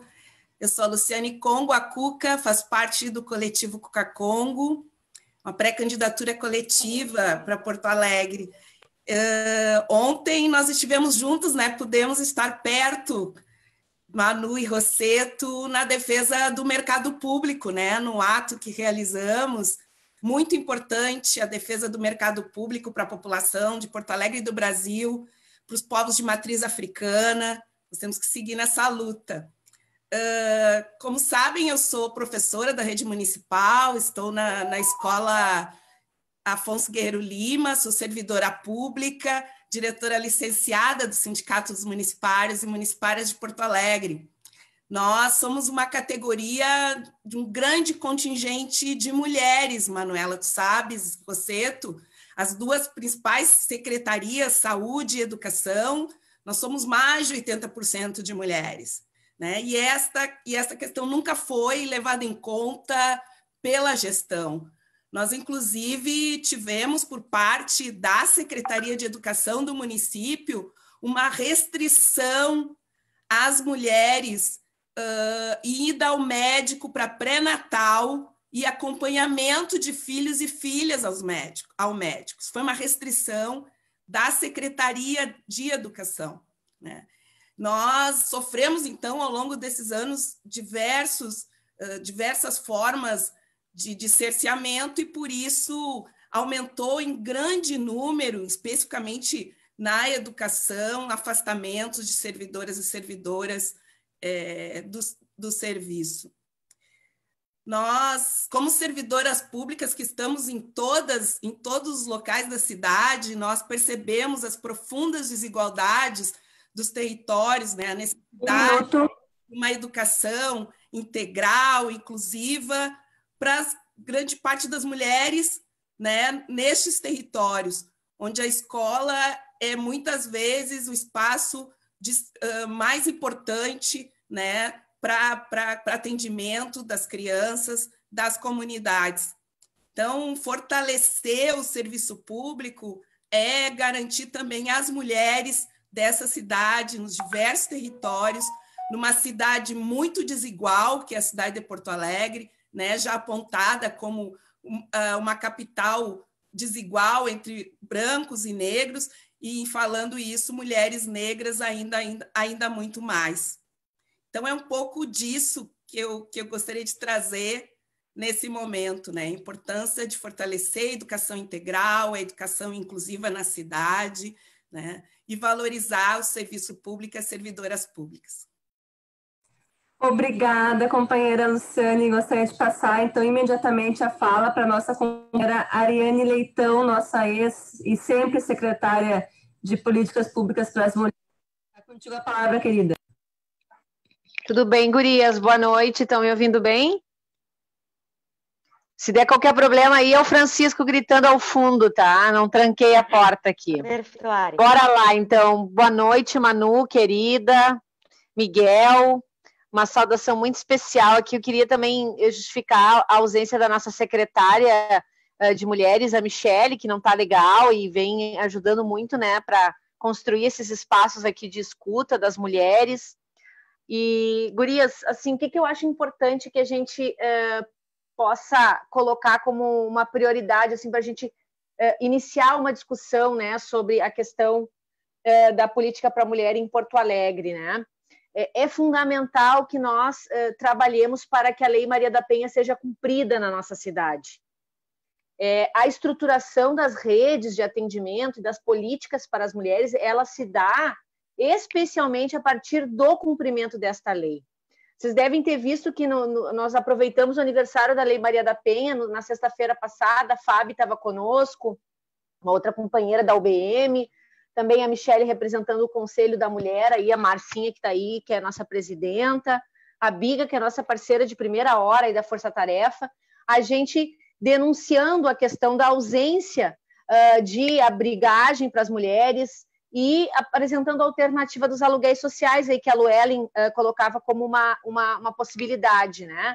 Vejam que o não cumprimento da Lei Maria da Penha faz com que a gente esteja nessa condição caótica em Porto Alegre, no Rio Grande do Sul, não só do aumento da, da violência, mas especialmente do aumento do feminicídio, sobretudo na pandemia. Então, a estruturação da política, a partir da aplicação da Lei Maria da Penha, a partir da valorização e do, do, do, reforço do centro de referência da mulher de Porto Alegre, que está abandonado. Lembrando que a política para a mulher se estrutura especialmente, inicialmente, a partir dos centros de referência. Nós temos um centro de referência aqui que é uh, simbólico e que precisa ser ressignificado. É fundamental que a gente reestruture a rede aqui, Manuela e Miguel, né, que tenha uma rede de política para as mulheres, que dentro desta rede de política para as mulheres a gente possa ter um olhar especial para as mulheres em situação de vulnerabilidade. Lembrando que nós vamos pegar as mulheres não só a violência sobre os mais diversos aspectos, mas que a vulnerabilidade é um, né, um plus a mais nessa situação da violência e que nós vamos pegar a cidade extremamente uh, é, é, é, atirada, abandonada, as mulheres numa situação de mu muita vulnerabilidade. Nós vamos precisar trabalhar dentro do centro de referência e a partir do centro de referência para fortalecer essa política, seja a Casa da Mulher Brasileira, como disse a Manuela, lembrando que, Manuela, nós deixamos aqui, como secretária de Mulheres, encaminhado lá o local para, para a Casa da Mulher Brasileira, e a responsabilidade principal era do prefeito, tá? Que não cumpriu, uh, Fortunati, depois o Marquesano, uh, finalizando especialmente uma responsabilidade municipal também, tá? Então, uh, que a gente possa pensar a política a partir deste espaço do cumprimento da Lei Maria da Penha, do cumprimento da questão do feminicídio, né, que a gente possa trabalhar para o enfrentamento do feminicídio, trabalhando a questão da Lei Maria da Penha, e essas ações emergenciais a partir da vulnerabilidade, aluguéis sociais, auxílio emergencial, um olhar diferenciado para as mulheres da nossa cidade. Vai ser muito, assim, é muito orgulho poder ter a primeira prefeita e a gente poder estar construindo isso tudo junto aqui, conjuntamente, né, com tantas mulheres feministas e militantes. Oxalá que as deusas nos abençoem e dê tudo certo, tá bem? Até a vitória com a Manu e com o Miguel. Um beijão, muito boa noite. Muito obrigada, Ariane, muito obrigada, querida. Eu gostaria de chamar a companheira Júlia. A Júlia fez uma mensagem justificando que ela teria que sair um pouquinho mais cedo, porque ela vai estar numa tarefa uh, de uma live enquanto trabalha. Oi, companheiras. Fala, minha amada. Boa noite, obrigada pela compreensão, Suelen. É, eu vou, eu sou, para quem ainda não me conhece, já conheço várias companheiras aqui, né? Meu nome é Júlia, sou da executiva estadual, sou da executiva municipal do PT de Porto Alegre. É, trabalho com a deputada Maria do Rosário, né? E eu vou estar participando agora às 19h30 de uma live com um companheiro pré-candidato, então não tinha como não não sair daqui, né? Mas queria dizer que eu estou acompanhando o debate, assim, que está maravilhoso, assim, muito importante ver essas colocações das diversas perspectivas é, das mulheres, da luta das mulheres, né? E, e, colocar aqui uma saudação em nome da deputada Maria do Rosário para vocês. É, e falar um pouco assim também, né? Como falou a, a Vitória, hoje é o dia da juventude, né? E a gente precisa muito falar dessa perspectiva também, é, das mulheres jovens, né? Que são muitas delas são mães e, e a gente precisa ter um, um, um olhar diferenciado para isso que a gente sabe que não tem na nossa cidade. A gente também é, sabe que quando a gente tem um governo, como com certeza será o governo da Manu e do Rosseto, é, que tem uma mulher à frente, a gente sabe que a coisa funciona diferente nas políticas públicas para as mulheres, né? A gente viu isso muito acontecer com a presidenta Dilma.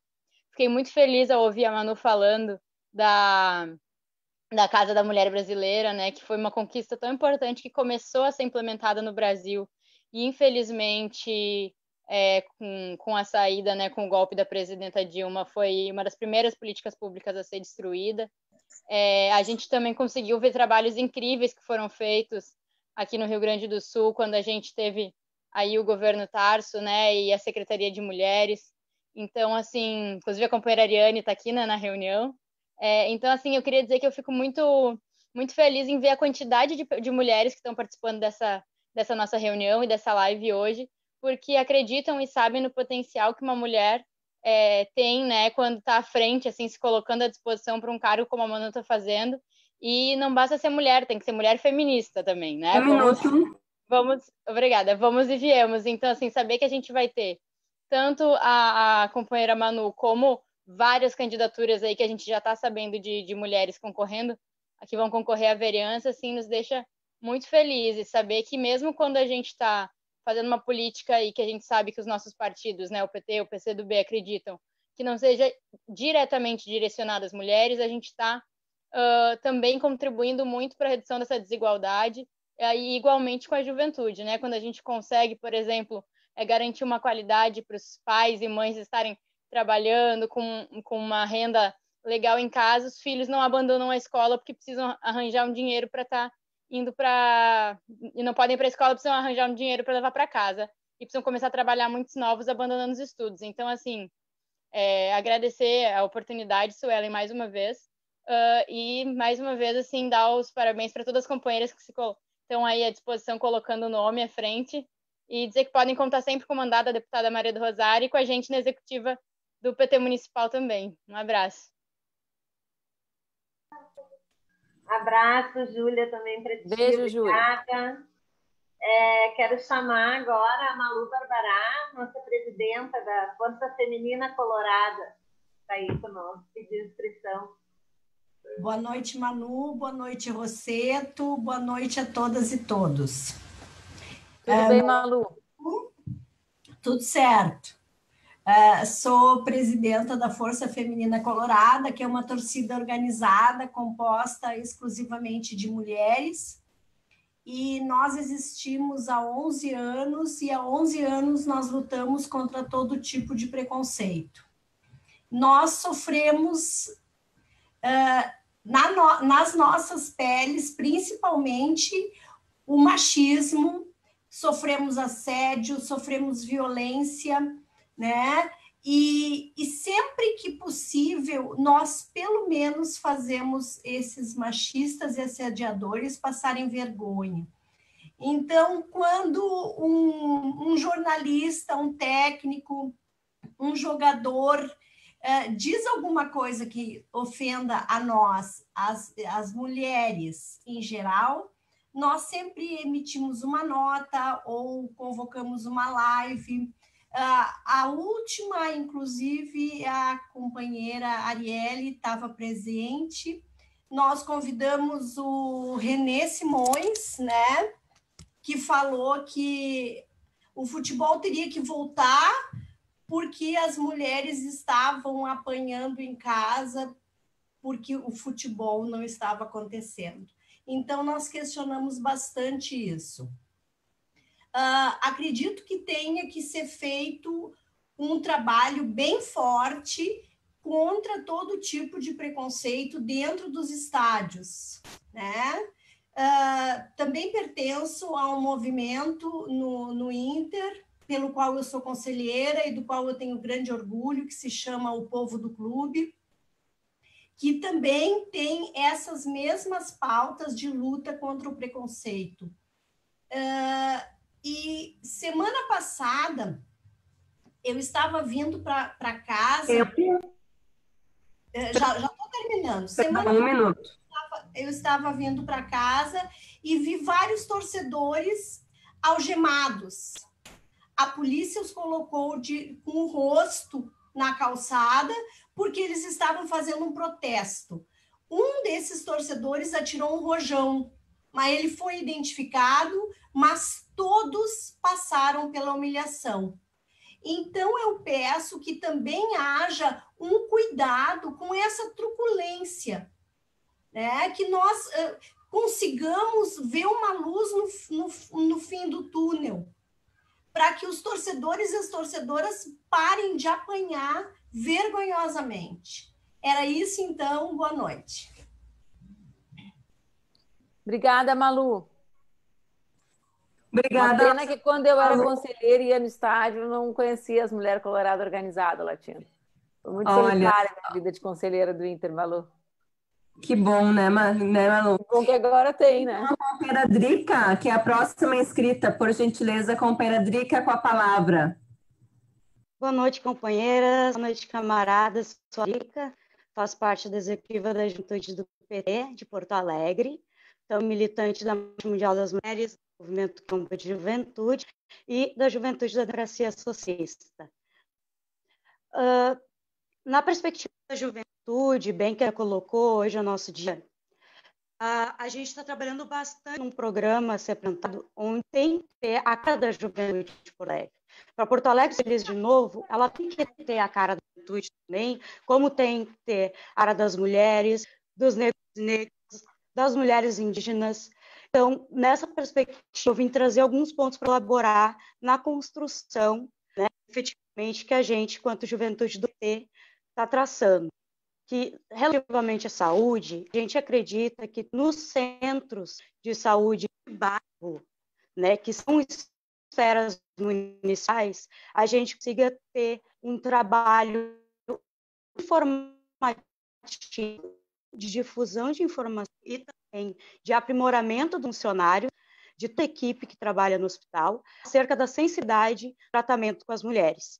E não só a sensibilidade do tratamento, nós também na informação para essas jovens mulheres que, por falta de informação e de conhecimento nos bairros, sobretudo nos bairros mais pobres, não conseguem uh, conhecer métodos contraceptivos que são de baixo risco de saúde ou nulos e que são de fato contraceptivos. E aí a gente consegue mudar a educação dessas mulheres e a educação da comunidade, coisa que seja mais uh, a cara que a gente é. Uma responsabilidade social, de fato, da prefeitura agindo nessas comunidades no contexto da saúde da também a distribuição de absorventes para as mulheres porque muitas mulheres nas comunidades, muitas mulheres moradoras de rua também, não têm acesso a itens básicos de higiene. E como se mantém a saúde das mulheres em vulnerabilidade ou das jovens mulheres não têm ah, que não têm os recursos para comprar, se não tiver um Estado indo ali para garantir esses direitos básicos de saúde a essas meninas. Na educação também já se falaram de creches e a tentar isso. As mulheres jovens, que são mais jovens, têm grande índice de evasão escolar por conta da ineficiência de creche para essas mulheres, sobretudo os horários também, creches que não atendem as mães jovens e estudantes e trabalhadoras. Então, a gente tenta, tentar criar um projeto que abrange as mulheres seria de suma importância para nós jovens. Um outro aspecto também voltado à saúde é a das mulheres lésbicas bissexuais.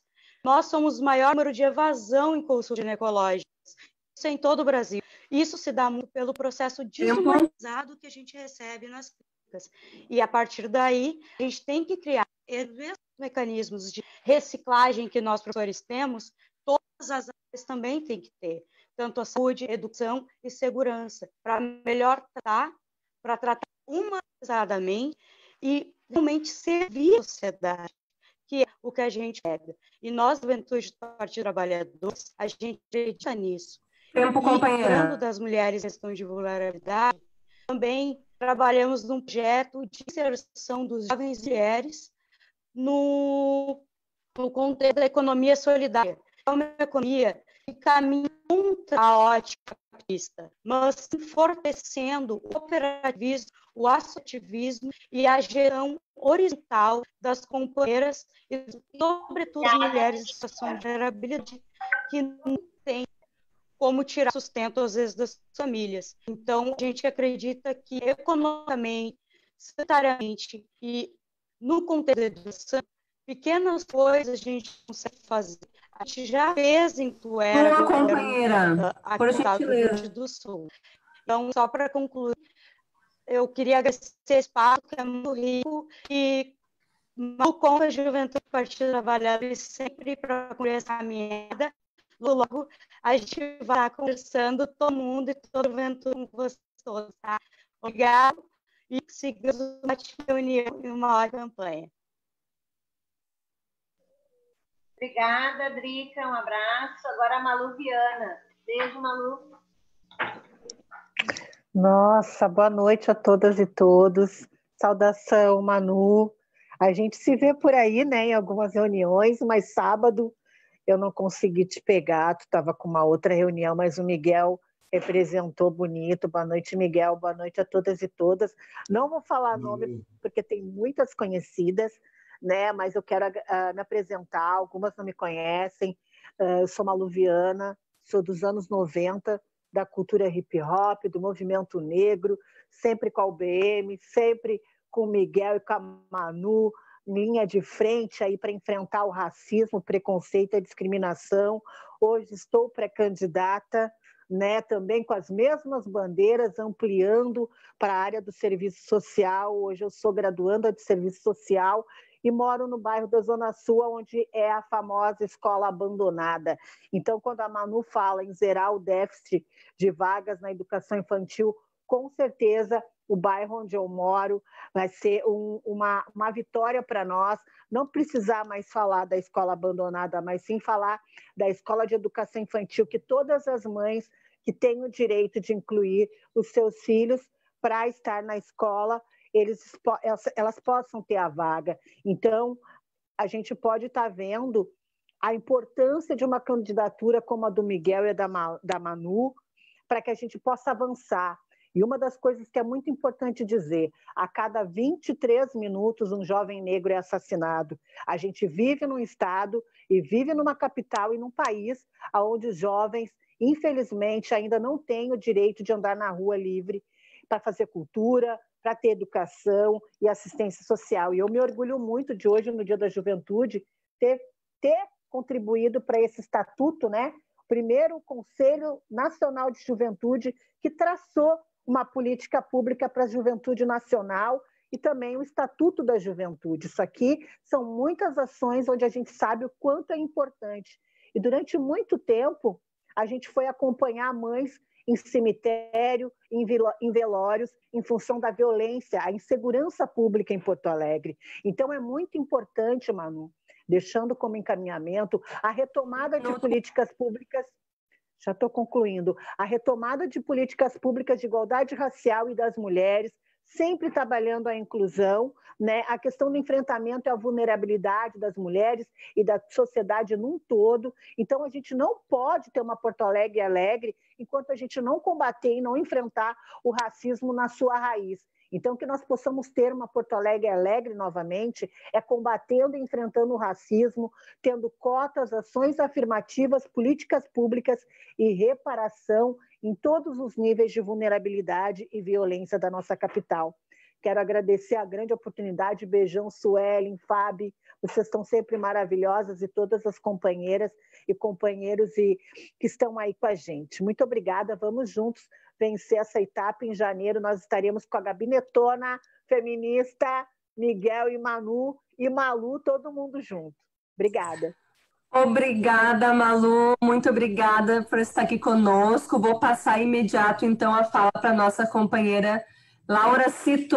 Laura, com a palavra, querida. Olá, meninas. Boa noite. Uma alegria estar aqui nessa plenária tão mobilizada, com tanta mulherada de luta. Queria mandar um abraço aqui para a Manu, para o Miguel, aqui para a nossa secretária Suelen, a Márcia Martins teve que sair, Miziara, nossa representante da Executiva Nacional do PT, também está aqui acompanhando nossa reunião, Rose Dias, a Marcele, um prazer sempre escutá-la. É, gente, é, é, acho que é uma, uma, um privilégio, um momento como a gente vive, a gente poder pela primeira vez ter a possibilidade de, uh, uh, de concretizar esse caminho de eleger uma mulher prefeita de Porto Alegre, uma mulher feminista, né? E acho que no momento como que a gente vive hoje na agenda política do Brasil, a gente parar para pensar qual é o lugar da mulher na agenda pública que eles tentam nos imputar, né? É, quando nós olhamos a situação de Porto Alegre, do desmonte das políticas para as mulheres, que nós acompanhamos não só do governo Marquesan, mas que já vínhamos acompanhando sobre outro projeto que geriu a cidade nos últimos, na última década, nós vemos neste período que nós vivemos uma resposta extremamente é, é, é é, que nos ataca assim de uma forma extremamente perversa, diria, né?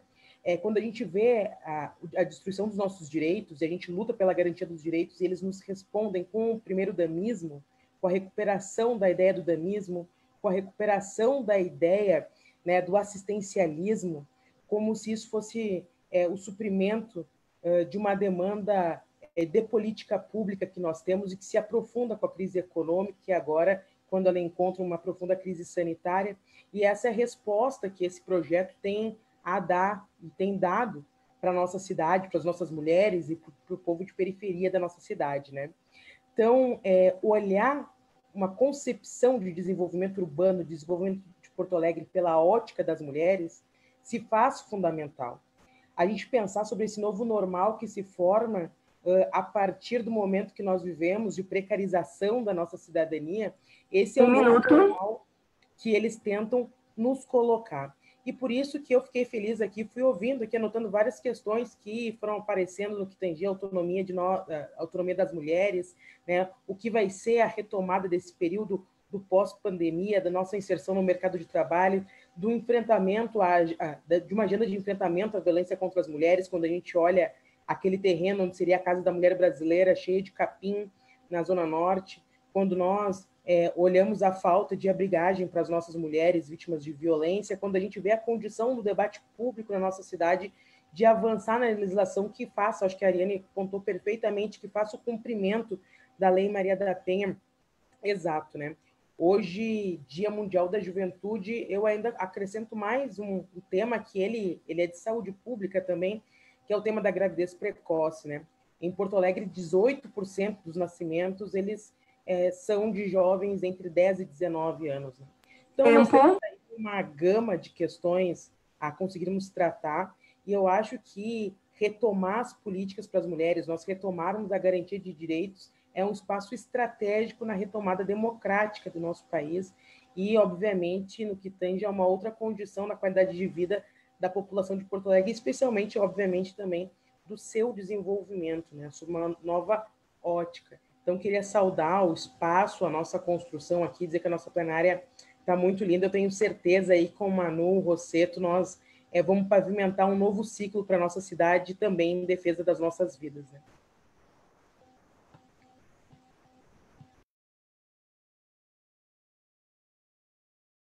Obrigada, Laura. Agora, Maria do Carmo, por favor, Maria. Boa noite, companheiro. Boa noite, Manu. Boa noite, Roseto. Uh, eu, à tarde, com a Ariane, conversando e tentando aqui dar formato no documento, e nós, coletivo de mulheres do PT, vamos estar entregando aí de contribuição programa. Então, não, é à toa que a gente trabalhou junta com muita coisa. Eu coordenei o Centro Estadual de Referência da Mulher, quando a Ariane era secretária. E é a partir desse lugar que eu quero continuar de onde ela parou. Né? A minha fala vai continuar exatamente de onde ela parou. Assim. A Ariane falou da, da significação que a gente tem que dar o centro de atendimento para o CRAN, né, Márcia Calisto. E, e, eu digo isso uh, pensando, quando pensamos, nós estamos pensando na Casa da Mulher Brasileira, sim, Manu, mas a gente está pensando antes, inclusive. A gente estava pensando nos primeiros momentos, quando a gente, no projeto que deu, naquele que desabou no projeto da Dilma de Casa de Mulher, da Casa da Mulher Brasileira, que era um projeto que a gente falava lá nos anos 90 da Casa da Mulher Trabalhadora. Porque Casa da Mulher Trabalhadora seria, e para nós, uma casa, neste momento histórico, uh, é um espaço de acolhimento de cuidado. Muito fundamental que a gente pense no dado como central da política para as mulheres. E, e o, a gente tem que entrar na prefeitura retomando o atendimento do centro de referência, retomando a rede de acolhimento, chamando todos os parceiros, mas também tem que entrar já no primeiro dia se preocupando com o cuidado e uh, pensando em estabelecer uma política que possa estabelecer uma política já não uma política transitória de nossa gestão. Para isso, é fundamental que a gente pense em um conselho gestor já para dentro desse espaço. Um conselho gestor que seja parceiro do Condim, que seja uh, parceiro dos movimentos feministas, que seja parceiro e que tenha integrantes de diversas uh, modalidades de terapia, do pessoal da incubação, do pessoal da educação, de todo mundo, que, desse grupo todo de mulheres maravilhosas como aqui, que a Manu chama para dentro do debate feminista, que isso é teu, com certeza, de chamar da diversidade para dentro do nosso debate é mérito teu, é mérito da tua trajetória nos últimos tempos, é mérito da tua trajetória enquanto candidata a vice do Haddad. E isso a gente pode trazer para dentro de uma casa, a gente tenha uh, círculos de autocuidado, onde a gente tenha uh, construção de facilitadoras para estar tá levando o que a gente proposta na casa centros regionais, que eu tenho certeza que ser retomados, a gente pode fazer um, uma, uma, grande espaço, a gente pensa muita coisa, uh, pensa um espaço que considere uh, as, todas as redes comunitárias estão aí, pensou no espaço que considere uh, atendimentos e medidas uh, que podem ser mediados hoje, não só o telefone, como a gente tinha a, quando a gente construiu o CRM, né? A gente tinha o telefone, a gente fazia atendimento telefone. Hoje a gente pode tentar conseguir fazer alguns atendimentos online, mas a gente precisa ir onde as mulheres estão. Então, fazer equipe volante, fazer ciclo de facilitador, fazer isso que o cuidado comunitário e efetivo uh, as companheiras da América Latina estão ensinando. Então, assim, para quem quiser saber mais sobre isso, procure a Casa das Artistas em Osaka, procura a experiência das nossas companheiras aqui em Rosário, na Argentina. Tem várias experiências pela América Latina, inclusive Brasil, tem a, a, a Cantra no Rio de Janeiro. Tem muitas casas que vêm nos trazer essa nova, essa ideia de que o atendimento à mulher em situação de violência não precisa se resumir a pensar somente cinco violências e atendimento na delegacia. A gente pode muito mais, a gente tem um grupo aqui que pode mais e todas nós vamos conseguir muito mais. Obrigada, Beijo. Excelente, Maria. Agora vamos chamar a Virgínia. Por favor, Virgínia, contigo. Beijo. Olá, boa noite, boa noite a todas. Eu não sei se eu conheço todas, eu sou Virgínia, sou professora da Universidade Federal, sou atualmente presidente da Benfo, e eu prometi hoje que eu não ia falar de parto, eu ia falar do fortalecimento do SUS. Mas eu recebi uma notícia agora que eu estou apavorada na, na, na, na Assembleia Legislativa do Estado, mas já vou falar para vocês. Manu e Rosseto, nós precisamos fortalecer o SUS. Eu venho trabalhando isso dentro da universidade, para uh, na defesa de eleições para reitor, para vice-reitora, para diretores de unidades, que uh, candidatos que não defendam educação de qualidade pública e o SUS não terão meu, meu voto e não terão meu apoio. O que eu queria falar para vocês uh, na defesa das mulheres é uh, reforçar a questão do SUS nas unidades básicas. O governo Marquesan fechou várias unidades de saúde e a porta de entrada geralmente são nas unidades de saúde. Então, que políticas nós vamos trabalhar, tanto com os, com os profissionais de saúde, quanto com o público que vem nos, nos buscar nas unidades de saúde? Capacitar a rede básica para atender as mulheres com pré-natal digno, porque reforçando um pré-natal, pré-natal digno, o conhecimento leva elas à busca de um parto humanizado e de um parto saudável. A questão da precaução da violência e dos direitos sexuais e reprodutivos, que a gente precisa avançar nessa história. E também, para a gente não esquecer, a questão do aborto legal. A Casa das Mulheres eu achei fantástico. Eu já me coloco como voluntária para trabalhar, para ter alunos da academia numa, numa casa como essa. Me coloco voluntariamente. Mas o que eu quero trazer para vocês, que eu recebi, eu recebi, só para encerrar, que foi protocolado né, um projeto da questão do parto seguro. E a Manu sabe, eu já, já no, no, no, na lei da violência obstétrica, o Valdecir também tem uma lei dessas, e agora o Tiago Duarte por uma encomenda do Sindicato Médico, apresenta um, um, projeto do parto seguro, o mesmo projeto que Pelotas tentou apresentar. Eu participei de uma audiência pública lá e ele foi reformulado. Mas é um projeto totalmente voltado para o trabalho médico, que desconhece, uh, fala muito em OMS e evidências científicas, mas vão completamente ao encontro do que se fala quanto a profissionais e quanto práticas humanizadoras na atenção à saúde. Então, assim, basta uma crise, né, como diz a Simone, nossa amiga, para cortarem nossos direitos e continuar com isso, né? Passa boiada, como diz o nosso ministro, e aqui passam outras coisas também. Então, assim, a gente tem que estar sempre de olho e tem que estar sempre relutando. Estou conversando com o assessor aqui do Valdecir para a gente poder abrir uma audiência pública na Assembleia Legislativa e tentar rebater isso daí, tá? Mas assim, contem comigo e nessa casa aí eu quero levar alunos lá para trabalhar. Vamos ganhar essa. Obrigada, professora. E vocês, Virginia, o que tiveram no meio do caminho, desculpa, Suelen, o que tiveram no meio do caminho de, do que a gente possa ajudar com relação ao projeto na Assembleia, prende o grito, né? Vou, eu acho que nós vamos precisar, né? porque está bem complicado. É. Certo, então, meninas, as próximas inscritas, já para ficarem atentas, é a companheira Miziara Oliveira, depois a Cris Medeiros e Luciane Almeida. Este trio, então, encerra nossa, nosso debate, depois a gente vai ouvir os nossos companheiros e companheiras. Miziara, com a palavra, querida. Bem, boa noite a, a todas, né? Quero cumprimentar muito especialmente aqui a Manu, nossa candidata a prefeita, nossa representação, né, das mulheres, feminista, de lutas, né?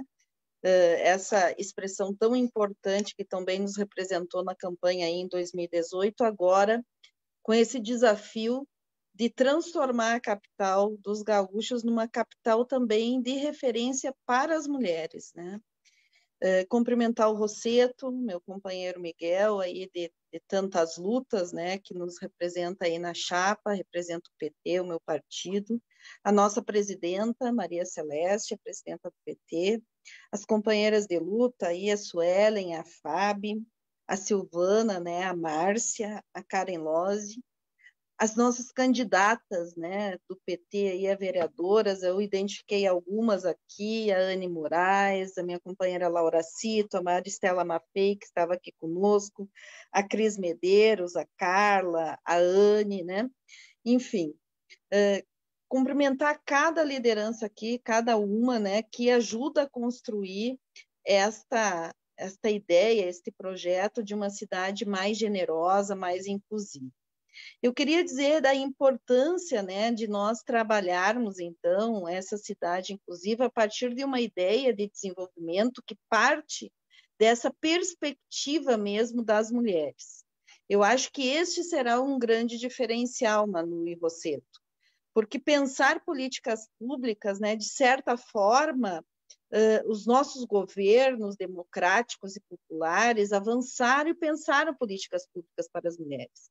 Mas pensar uma ideia de desenvolvimento, né, uma ideia de uma outra uh, relação da cidade com a sua população a partir da perspectiva das mulheres, eu acho que isto é o elemento mais inovador.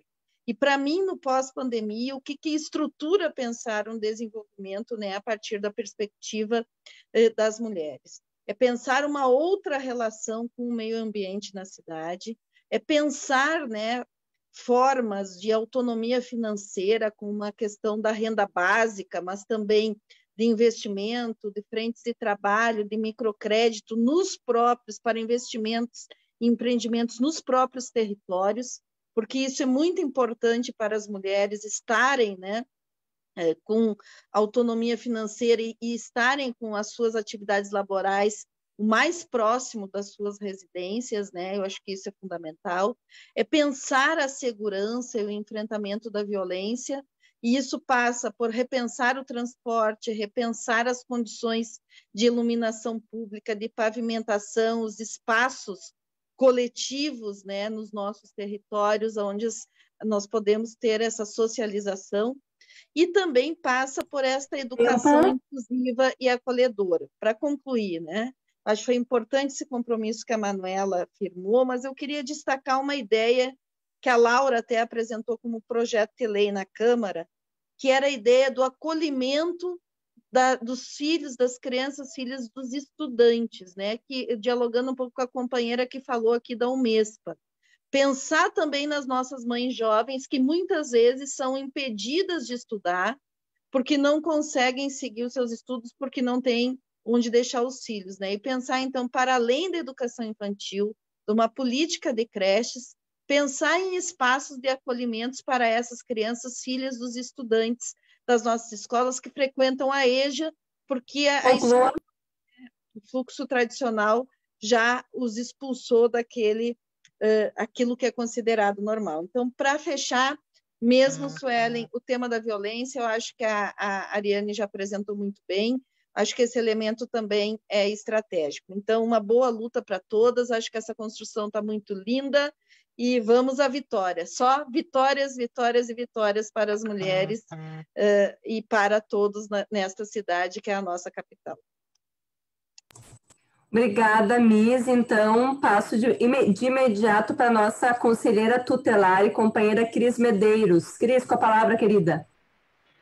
Boa noite, muito obrigada, Sueli, minha, minha presidenta, minha secretária né, da, da, da Secretaria de Mulheres do, do Estado, do Partido dos Trabalhadores. Boa noite, Manuela, nossa futura prefeita, Rosseto. Boa noite, todas as companheiras aqui presentes, né? Todas as falas obviamente me contemplam, então não, não vou ser é, repetitiva, só é, reforçar né, a questão, é, e, e, a Manuela já tem falado muito disso, né, que a, a política para as mulheres ela está diretamente relacionada à política para criança e adolescente, que está é, desmontada, né, como todas as políticas sociais, então a gente precisa ter um olhar é, especial, né, para esses dois universos, porque eles andam juntos, né, crianças e adolescentes, juventude, né, como bem falou a Júlia hoje, é Dia Internacional da Juventude, né, a gente precisa dar atenção especial para a nossa gurizada. É, os nossos adolescentes de periferia não estão sequer completando o ensino fundamental, isso é um dado muito preocupante muitas adolescentes e muitos adolescentes não completam, então, o ensino fundamental.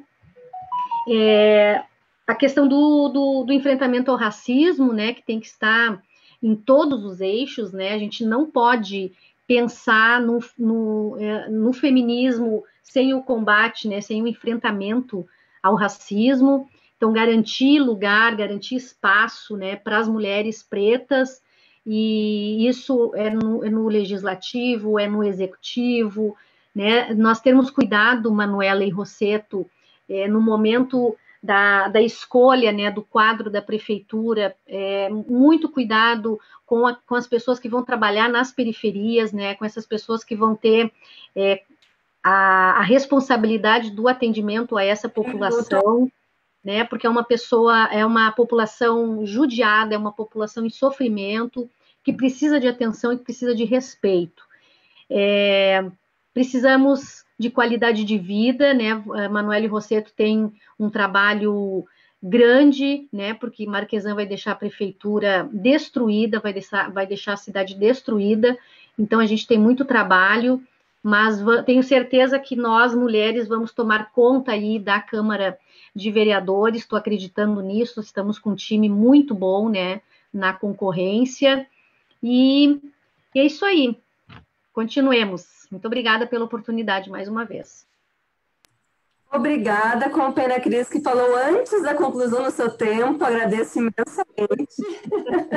Passamos então de imediato a palavra para a companheira Luciane Almeida, depois a Fábio assume as picapes.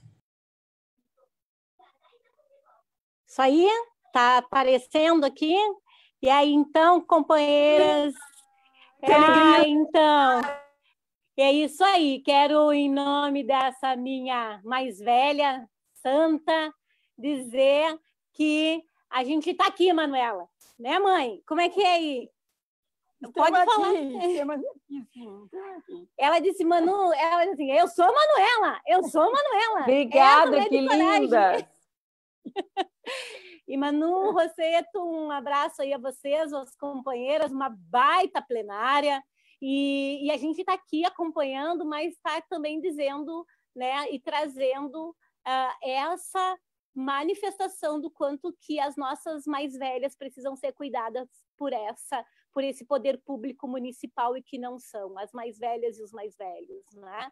E, e, e também a questão da habitação, Manuela é importante assim, ó, o nosso lugar, o nosso espaço de ser mulher é, também na nossa casa. E a política de habitação, a regularização fundiária atinge principalmente as mulheres. Nós precisamos dos espaços para morar e para criar os nossos filhos.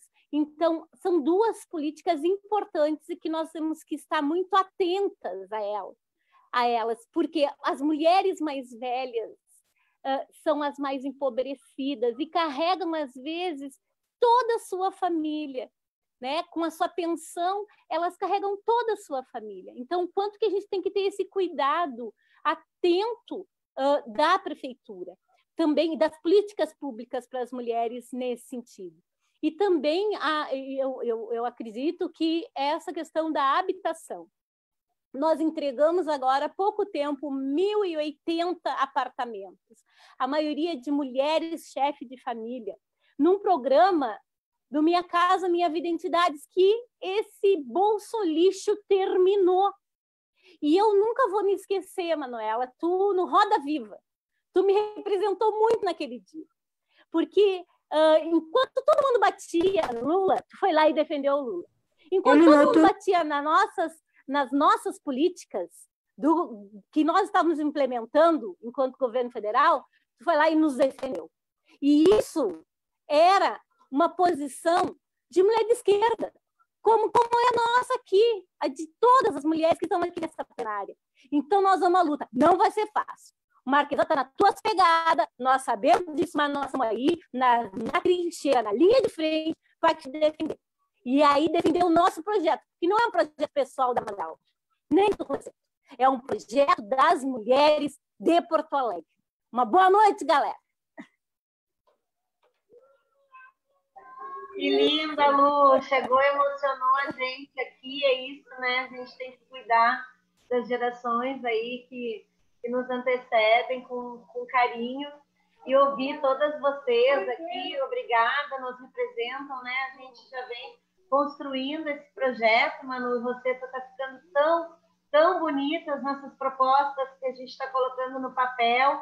Acho, acredito que na próxima semana a gente já senta, né, meninas? com a equipe do programa para passar tudo isso, essa proposta de ter esses serviços, né, esse acolhimento, o combate à violência, a cidadania, né, a, a busca da autonomia, tudo junto no mesmo espaço para a gente construir é, a vida melhor para as mulheres nessa cidade, essa questão também dos direitos sexuais e reprodutivos. Né? A Virginia não, não, não percebi se falou né, de transformar o Hospital Parque Belém num grande centro de referência de direitos sexuais e reprodutivos, né, que está na nossa proposta também. Enfim, são muitas coisas muito legais que a gente tem para apresentar. Obrigada por vocês terem nos escutado até aqui. Nós vamos seguir cada vez mais fortalecidas, né, com esse grande comitê de mulheres é, que tem uma tarefa enorme de, de levar vocês até a posse, né, que a gente vai vencer essa eleição e vamos conseguir também é, estruturar e, e, dar força para esse governo, para essa gestão na Câmara de Vereadores. Vocês viram aqui a potência das nossas candidatas a vereadoras, né? E a gente vai ter uma grande bancada feminista na Câmara, com certeza, né? É, com certeza. Então, passar a palavra para o Roseto, né? Para a gente ouvir um pouquinho, para ele encerrar, se despedir, depois para a Manu.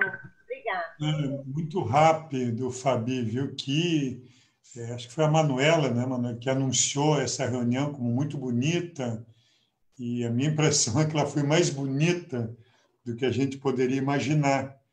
Com, e a última fala da Luciana foi uma fala tão emocionante, com a tua mãe presente, com uma, um gesto de carinho, de respeito é, com as mulheres idosas, né, as mães de todos nós, as avós.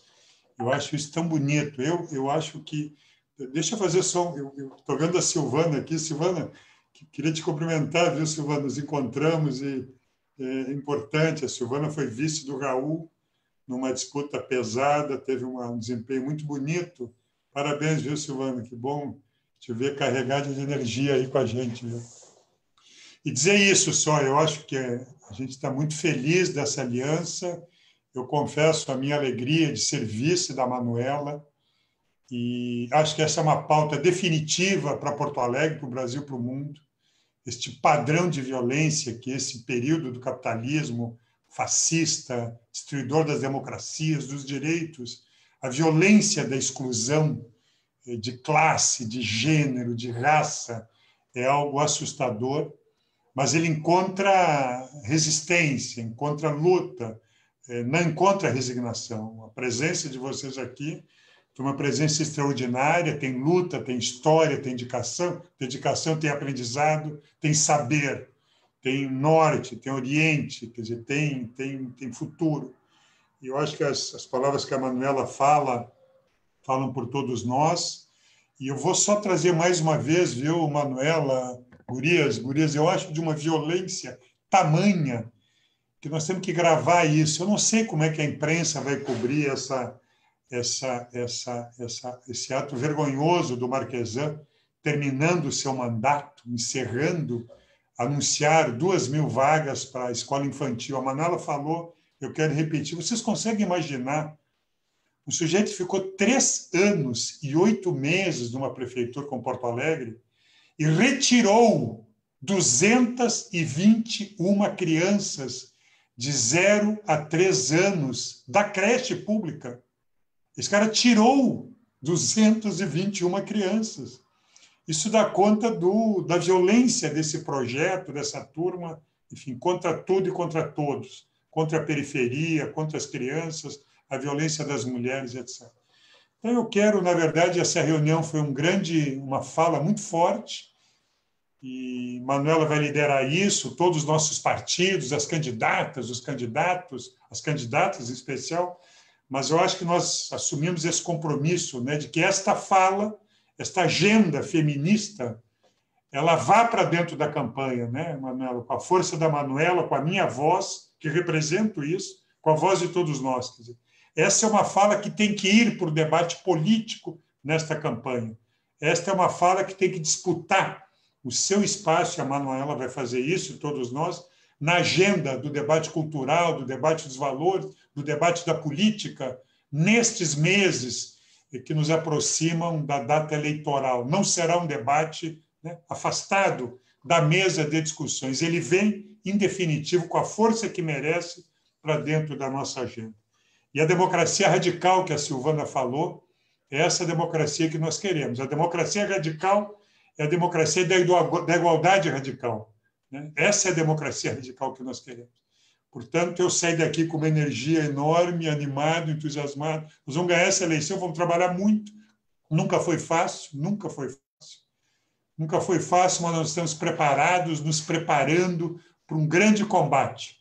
O combate né, da, da, da liberdade, da igualdade, da não violência, do direito dessa cidade ser alegre, de toda a cidade ser alegre, de todos nós sermos alegres. Não existe, alguém disse aí, isso por aí, não existe uma Porto Alegre alegre sem que a alegria sejam de todas e de todos, brancos e negros, homens e mulheres, jovens e idosos, do centro ou da periferia. E nós temos um compromisso de eliminar esta exclusão e essa violência. Parabéns, viu, gente? Parabéns. Eu acho que foi uma super reunião que nos anima e nos convoca a luta pela emancipação, a luta pela liberdade, ao bom combate. Um abraço a todos vocês, viu? Tamo junto, bora! Obrigada, Miguel. Só gostaria de fazer, trazer dois elementos antes de passar para a nossa companheira Manuela. O primeiro, que lá no nosso chat está o link do nosso, do nosso grupo do WhatsApp para quem não está e para quem já está, que possa também passar para outras companheiras, outras camaradas. Isso é importante. A segunda questão que eu gostaria de deixar registrada é que a nossa construção, a nossa mediação seria feita pela nossa companheira Michele Sandri, que é a nossa secretária municipal de, de mulheres do PT de Porto Alegre, mas a Michele está enfim, está de, digamos assim, de resguardo, ela está com alguns sintomas de gripe, esperamos nós que seja somente uma gripe, então plena recuperação para acompanhar a Michelle, então ela me passou a tarefa e eu, como eu sou bem centralizada, estou aqui e fiquei bem nervosa inicialmente, porque a gente está mais na retaguarda né, de todos os espaços, então agradeço imensamente a Fábio também pela condução, pela construção coletiva, obrigada, Camarada Manuela, nossa futura prefeita, que vamos ocupar o Paço Municipal no dia 1 de janeiro, numa festa democrática, feminista, antirracista, anti-homofóbica, ocupando esse espaço que aqui é do povo de Porto Alegre. Companheira e camarada, com a palavra, querida. Obrigada, Suelen. Foi muito bem. A gente está na retaguarda, está na vanguarda, está onde tiver que estar, tá, né? É assim que a gente é. A gente se vira nos 30. Eu quero abraçar a tia Fábia, todas vocês que falaram estava ouvindo vocês e eu queria, nesse final, eu, eu, fico vendo sempre, né?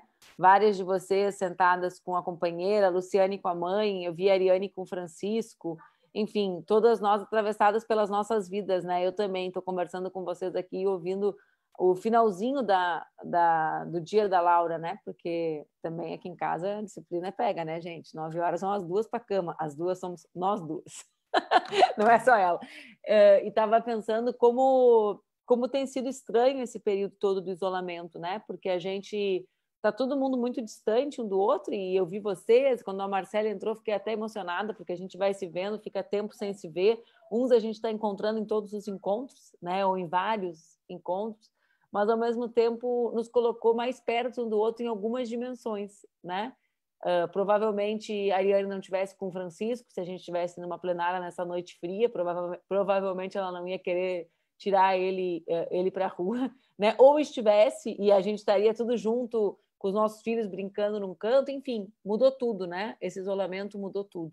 Mas o que, o que, o que eu queria registrar é que, apesar de todas essas mudanças, acho que esse encontro foi extraordinário, porque nós conseguimos ouvir uma parte, né? Ninguém aqui tem a pretensão de conseguir, com toda a dificuldade da tecnologia, ouvir o conjunto das mulheres, mas uma parte uh, bem diversa do que são as mulheres da nossa cidade, né? Das mulheres negras das comunidades que querem parar de enterrar os seus filhos quando a Misiara falou, Bruninha, da ideia da, das jovens mães, né, e, da, e do projeto apresentado para Laura, eu me lembrei, em 2005 nós apresentamos um projeto na Câmara que reservava uma parte das vagas nas creches, nas escolas de educação infantil para jovens que precisassem estudar, né, compreendendo que então elas tinham dois limitadores: o trabalho para sustentar os filhos, como o conjunto das mulheres, mas a necessidade que essa deveria ser, deveria ser uma política eh, tocada pelo governo, né, Miguel? Se essa jovem pode evadir da escola, é a gente que tem que proteger e tentar fazer com que ela não evada. Então, acho que nós temos sonhos que vão atravessando,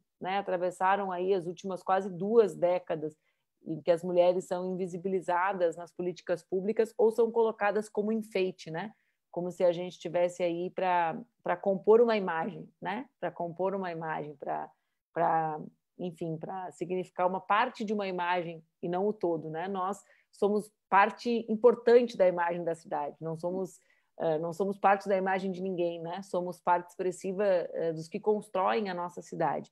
E eu queria terminar para vocês dizendo uh, duas coisas. Tem várias contribuições importantes, eu fiquei muito reflexiva, mas eu queria terminar. Chega essa hora, eu e o Miguel já estamos com a minha avó diria com farol baixo, assim, né? Porque o dia inteiro, desde muito cedo, eu hoje de manhã, você sabe que eu sou desaforada, né, gente? Eu tô calma, mas vocês todos me conhecem de muitos carnavais.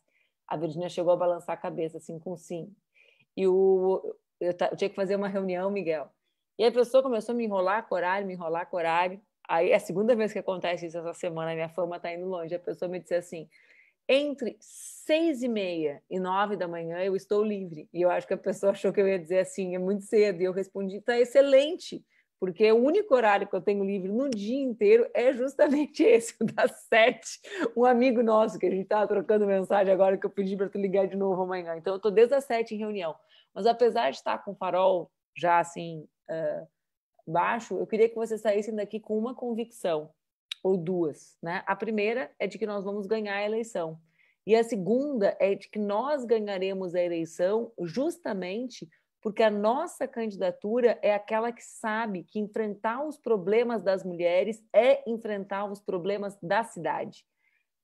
Não existe nenhuma contradição entre isso. Né? Aliás, ao contrário, se nós viveremos um ciclo em que os cuidados, a proteção social serão ainda mais importantes do que já eram, é impossível pensar cuidados e proteção social sem pensar em quem, durante o último período histórico inteiro, cuidou e protegeu, profissionalmente e não profissionalmente, né? Quando nós falamos de cuidados na nossa sociedade, nós estamos falando do trabalho remunerado das educadoras, estamos falando do, do trabalho remunerado das profissionais de saúde, estamos falando do trabalho remunerado das profissionais da assistência, mas também estamos uh, falando do trabalho invisibilizado e não remunerado de outras mulheres, que é tão mais trabalho quanto menos políticas públicas existem. Nós sabemos que quando fecham o posto de saúde, não são punidos igualmente mulheres e homens, Virginia, porque aqueles que se deslocam para marcar as consultas carregando os filhos ou as mães idosas ou as sogras idosas são as mulheres. Né? Nós sabemos que quando falta vaga na creche, não são punidos igualmente todos na comunidade. As mulheres são as que evadem do mercado de trabalho. E, portanto, se nós queremos uma cidade em que a dimensão dos cuidados e da proteção esteja em primeiro lugar, para que todos vivam com dignidade, para que não falte comida na mesa de ninguém, para que todos possam ser, né? Porque o que é ser uma cidade alegre, né? A gente não tem como garantir que as pessoas tenham bons relacionamentos, não tem como garantir que as pessoas uh, sintam-se felizes olhando a natureza. O, o, papel do poder público é garantir as condições materiais para que essa felicidade venha. Né? O que é a condição material? É a consulta, é a vaga na escola, é o poder andar na rua, é o andar no ônibus e não ser assediada. Né? É, é isso, é, é aliviar aquilo que já é imensamente grande que é viver, né, Miguel? É fazer com que a vida não seja tão difícil. Então, se nós queremos eh, colocar no centro essa dimensão dos cuidados, nós precisamos colocar no centro a pauta das mulheres. Por isso que eu comecei dizendo que nós era uma reunião que nós queríamos encaixotar para desencaixotar.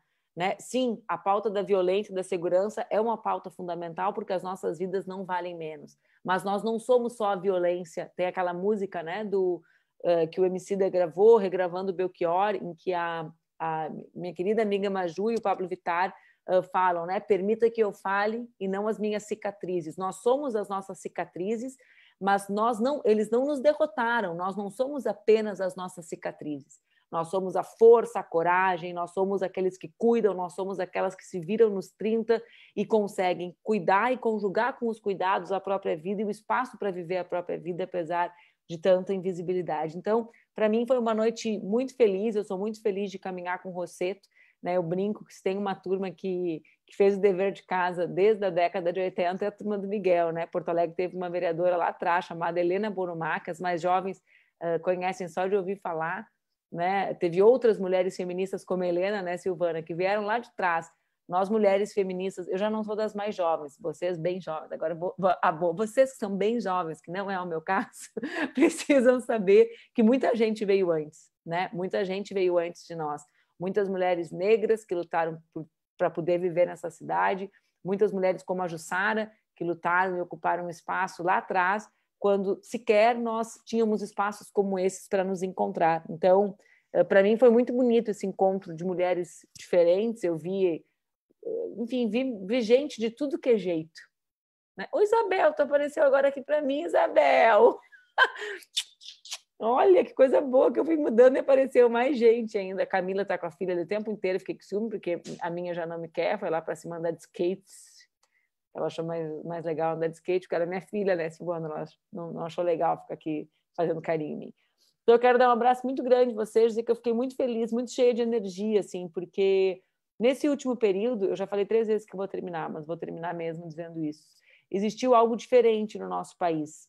Né? O nosso país foi marcado por uma ofensiva muito grande, como Miguel disse, das forças conservadoras, do que re representa o bolsonarismo, a política do Estado mínimo, as políticas de austeridade, mas isso não passou incólume, né? Existiu uma reação muito gritante. E se essa reação existiu, ela foi marcadamente a reação das mulheres e dos homens das mulheres negras e negros, né? Quem reagiu?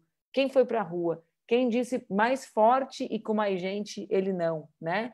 Quem se organizou? Quem se emancipou? Quem tomou consciência de 2016 para cá? Fomos sobretudo nós mulheres, né? Foi porque nós vimos a violência e o ódio que eles podem sentir da gente, mas foi também porque nós fomos as primeiras desempregadas, né? As primeiras a, a ver, vermos a escola fechada. Eu, enquanto falava com vocês, falava aqui uh, por escrito com a deputada Sofia, mil mulheres demitidas, Miguel, serão das nossas escolas, as terceirizadas. Quem são? Quem são as terceirizadas que cozinham e que limpam as escolas, Fábio? São as mulheres, né? Então, as mulheres foram para a rua por consciência da violência do projeto e foram para a rua por sentirem os efeitos do Estado mínimo. E somos nós, as mulheres, que construiremos de novo, né, uma cidade mais justa e mais humana, mais humana para que todos vivam. Se é em cima de nós que eles olham, né, e projetam o, o, o estado da indiferença e da violência, seremos nós, né, que semearemos esperança e colheremos dias melhores juntas na nossa cidade. Foi muito bonito encontrar vocês, muito bonito encontrar tantas trajetórias diferentes, né, de mulheres que lutam, algumas há mais tempo, outras junto comigo, outras que vieram depois de mim, e saber que juntas nós faremos a diferença na eleição. Eles eles dizem, né, eles querem que a gente se esconda, e quanto mais eles querem que a gente se esconda, mais a gente aparece, porque a gente é assim, né? A gente é forte que nem a flor que brota no asfalto. Ninguém entende direito como é que sai daquele buraquinho, mas é daquele buraquinho sai, sai com toda a potência e toda a força da natureza. Um beijo bem grande, gurias. Fiquem com Deus, fiquem bem, se cuidem. Se cuidem muito nesse próximo período e vamos à vitória, né, Miguel? Bora! Ô, Manu, bora. Manu, Abraço, você... gente. Cuidem-se. Eu deixei uma poesia para o final, eu posso recitar para vocês? Claro. Uma poesia? Claro, minha Vocês, pode ser? Claro. Fazemos a correria e a nossa parte, com garra, força e fé. Sim, com garra, força e fé. Buscamos nosso espaço, trilhamos o futuro, seja aqui desse lado ou do outro lado do muro. Escute o que eu digo e faça o que eu faço. Sem certas horas, você tem que ser mulher de aço. Se o bicho pega, às vezes fica embaçado.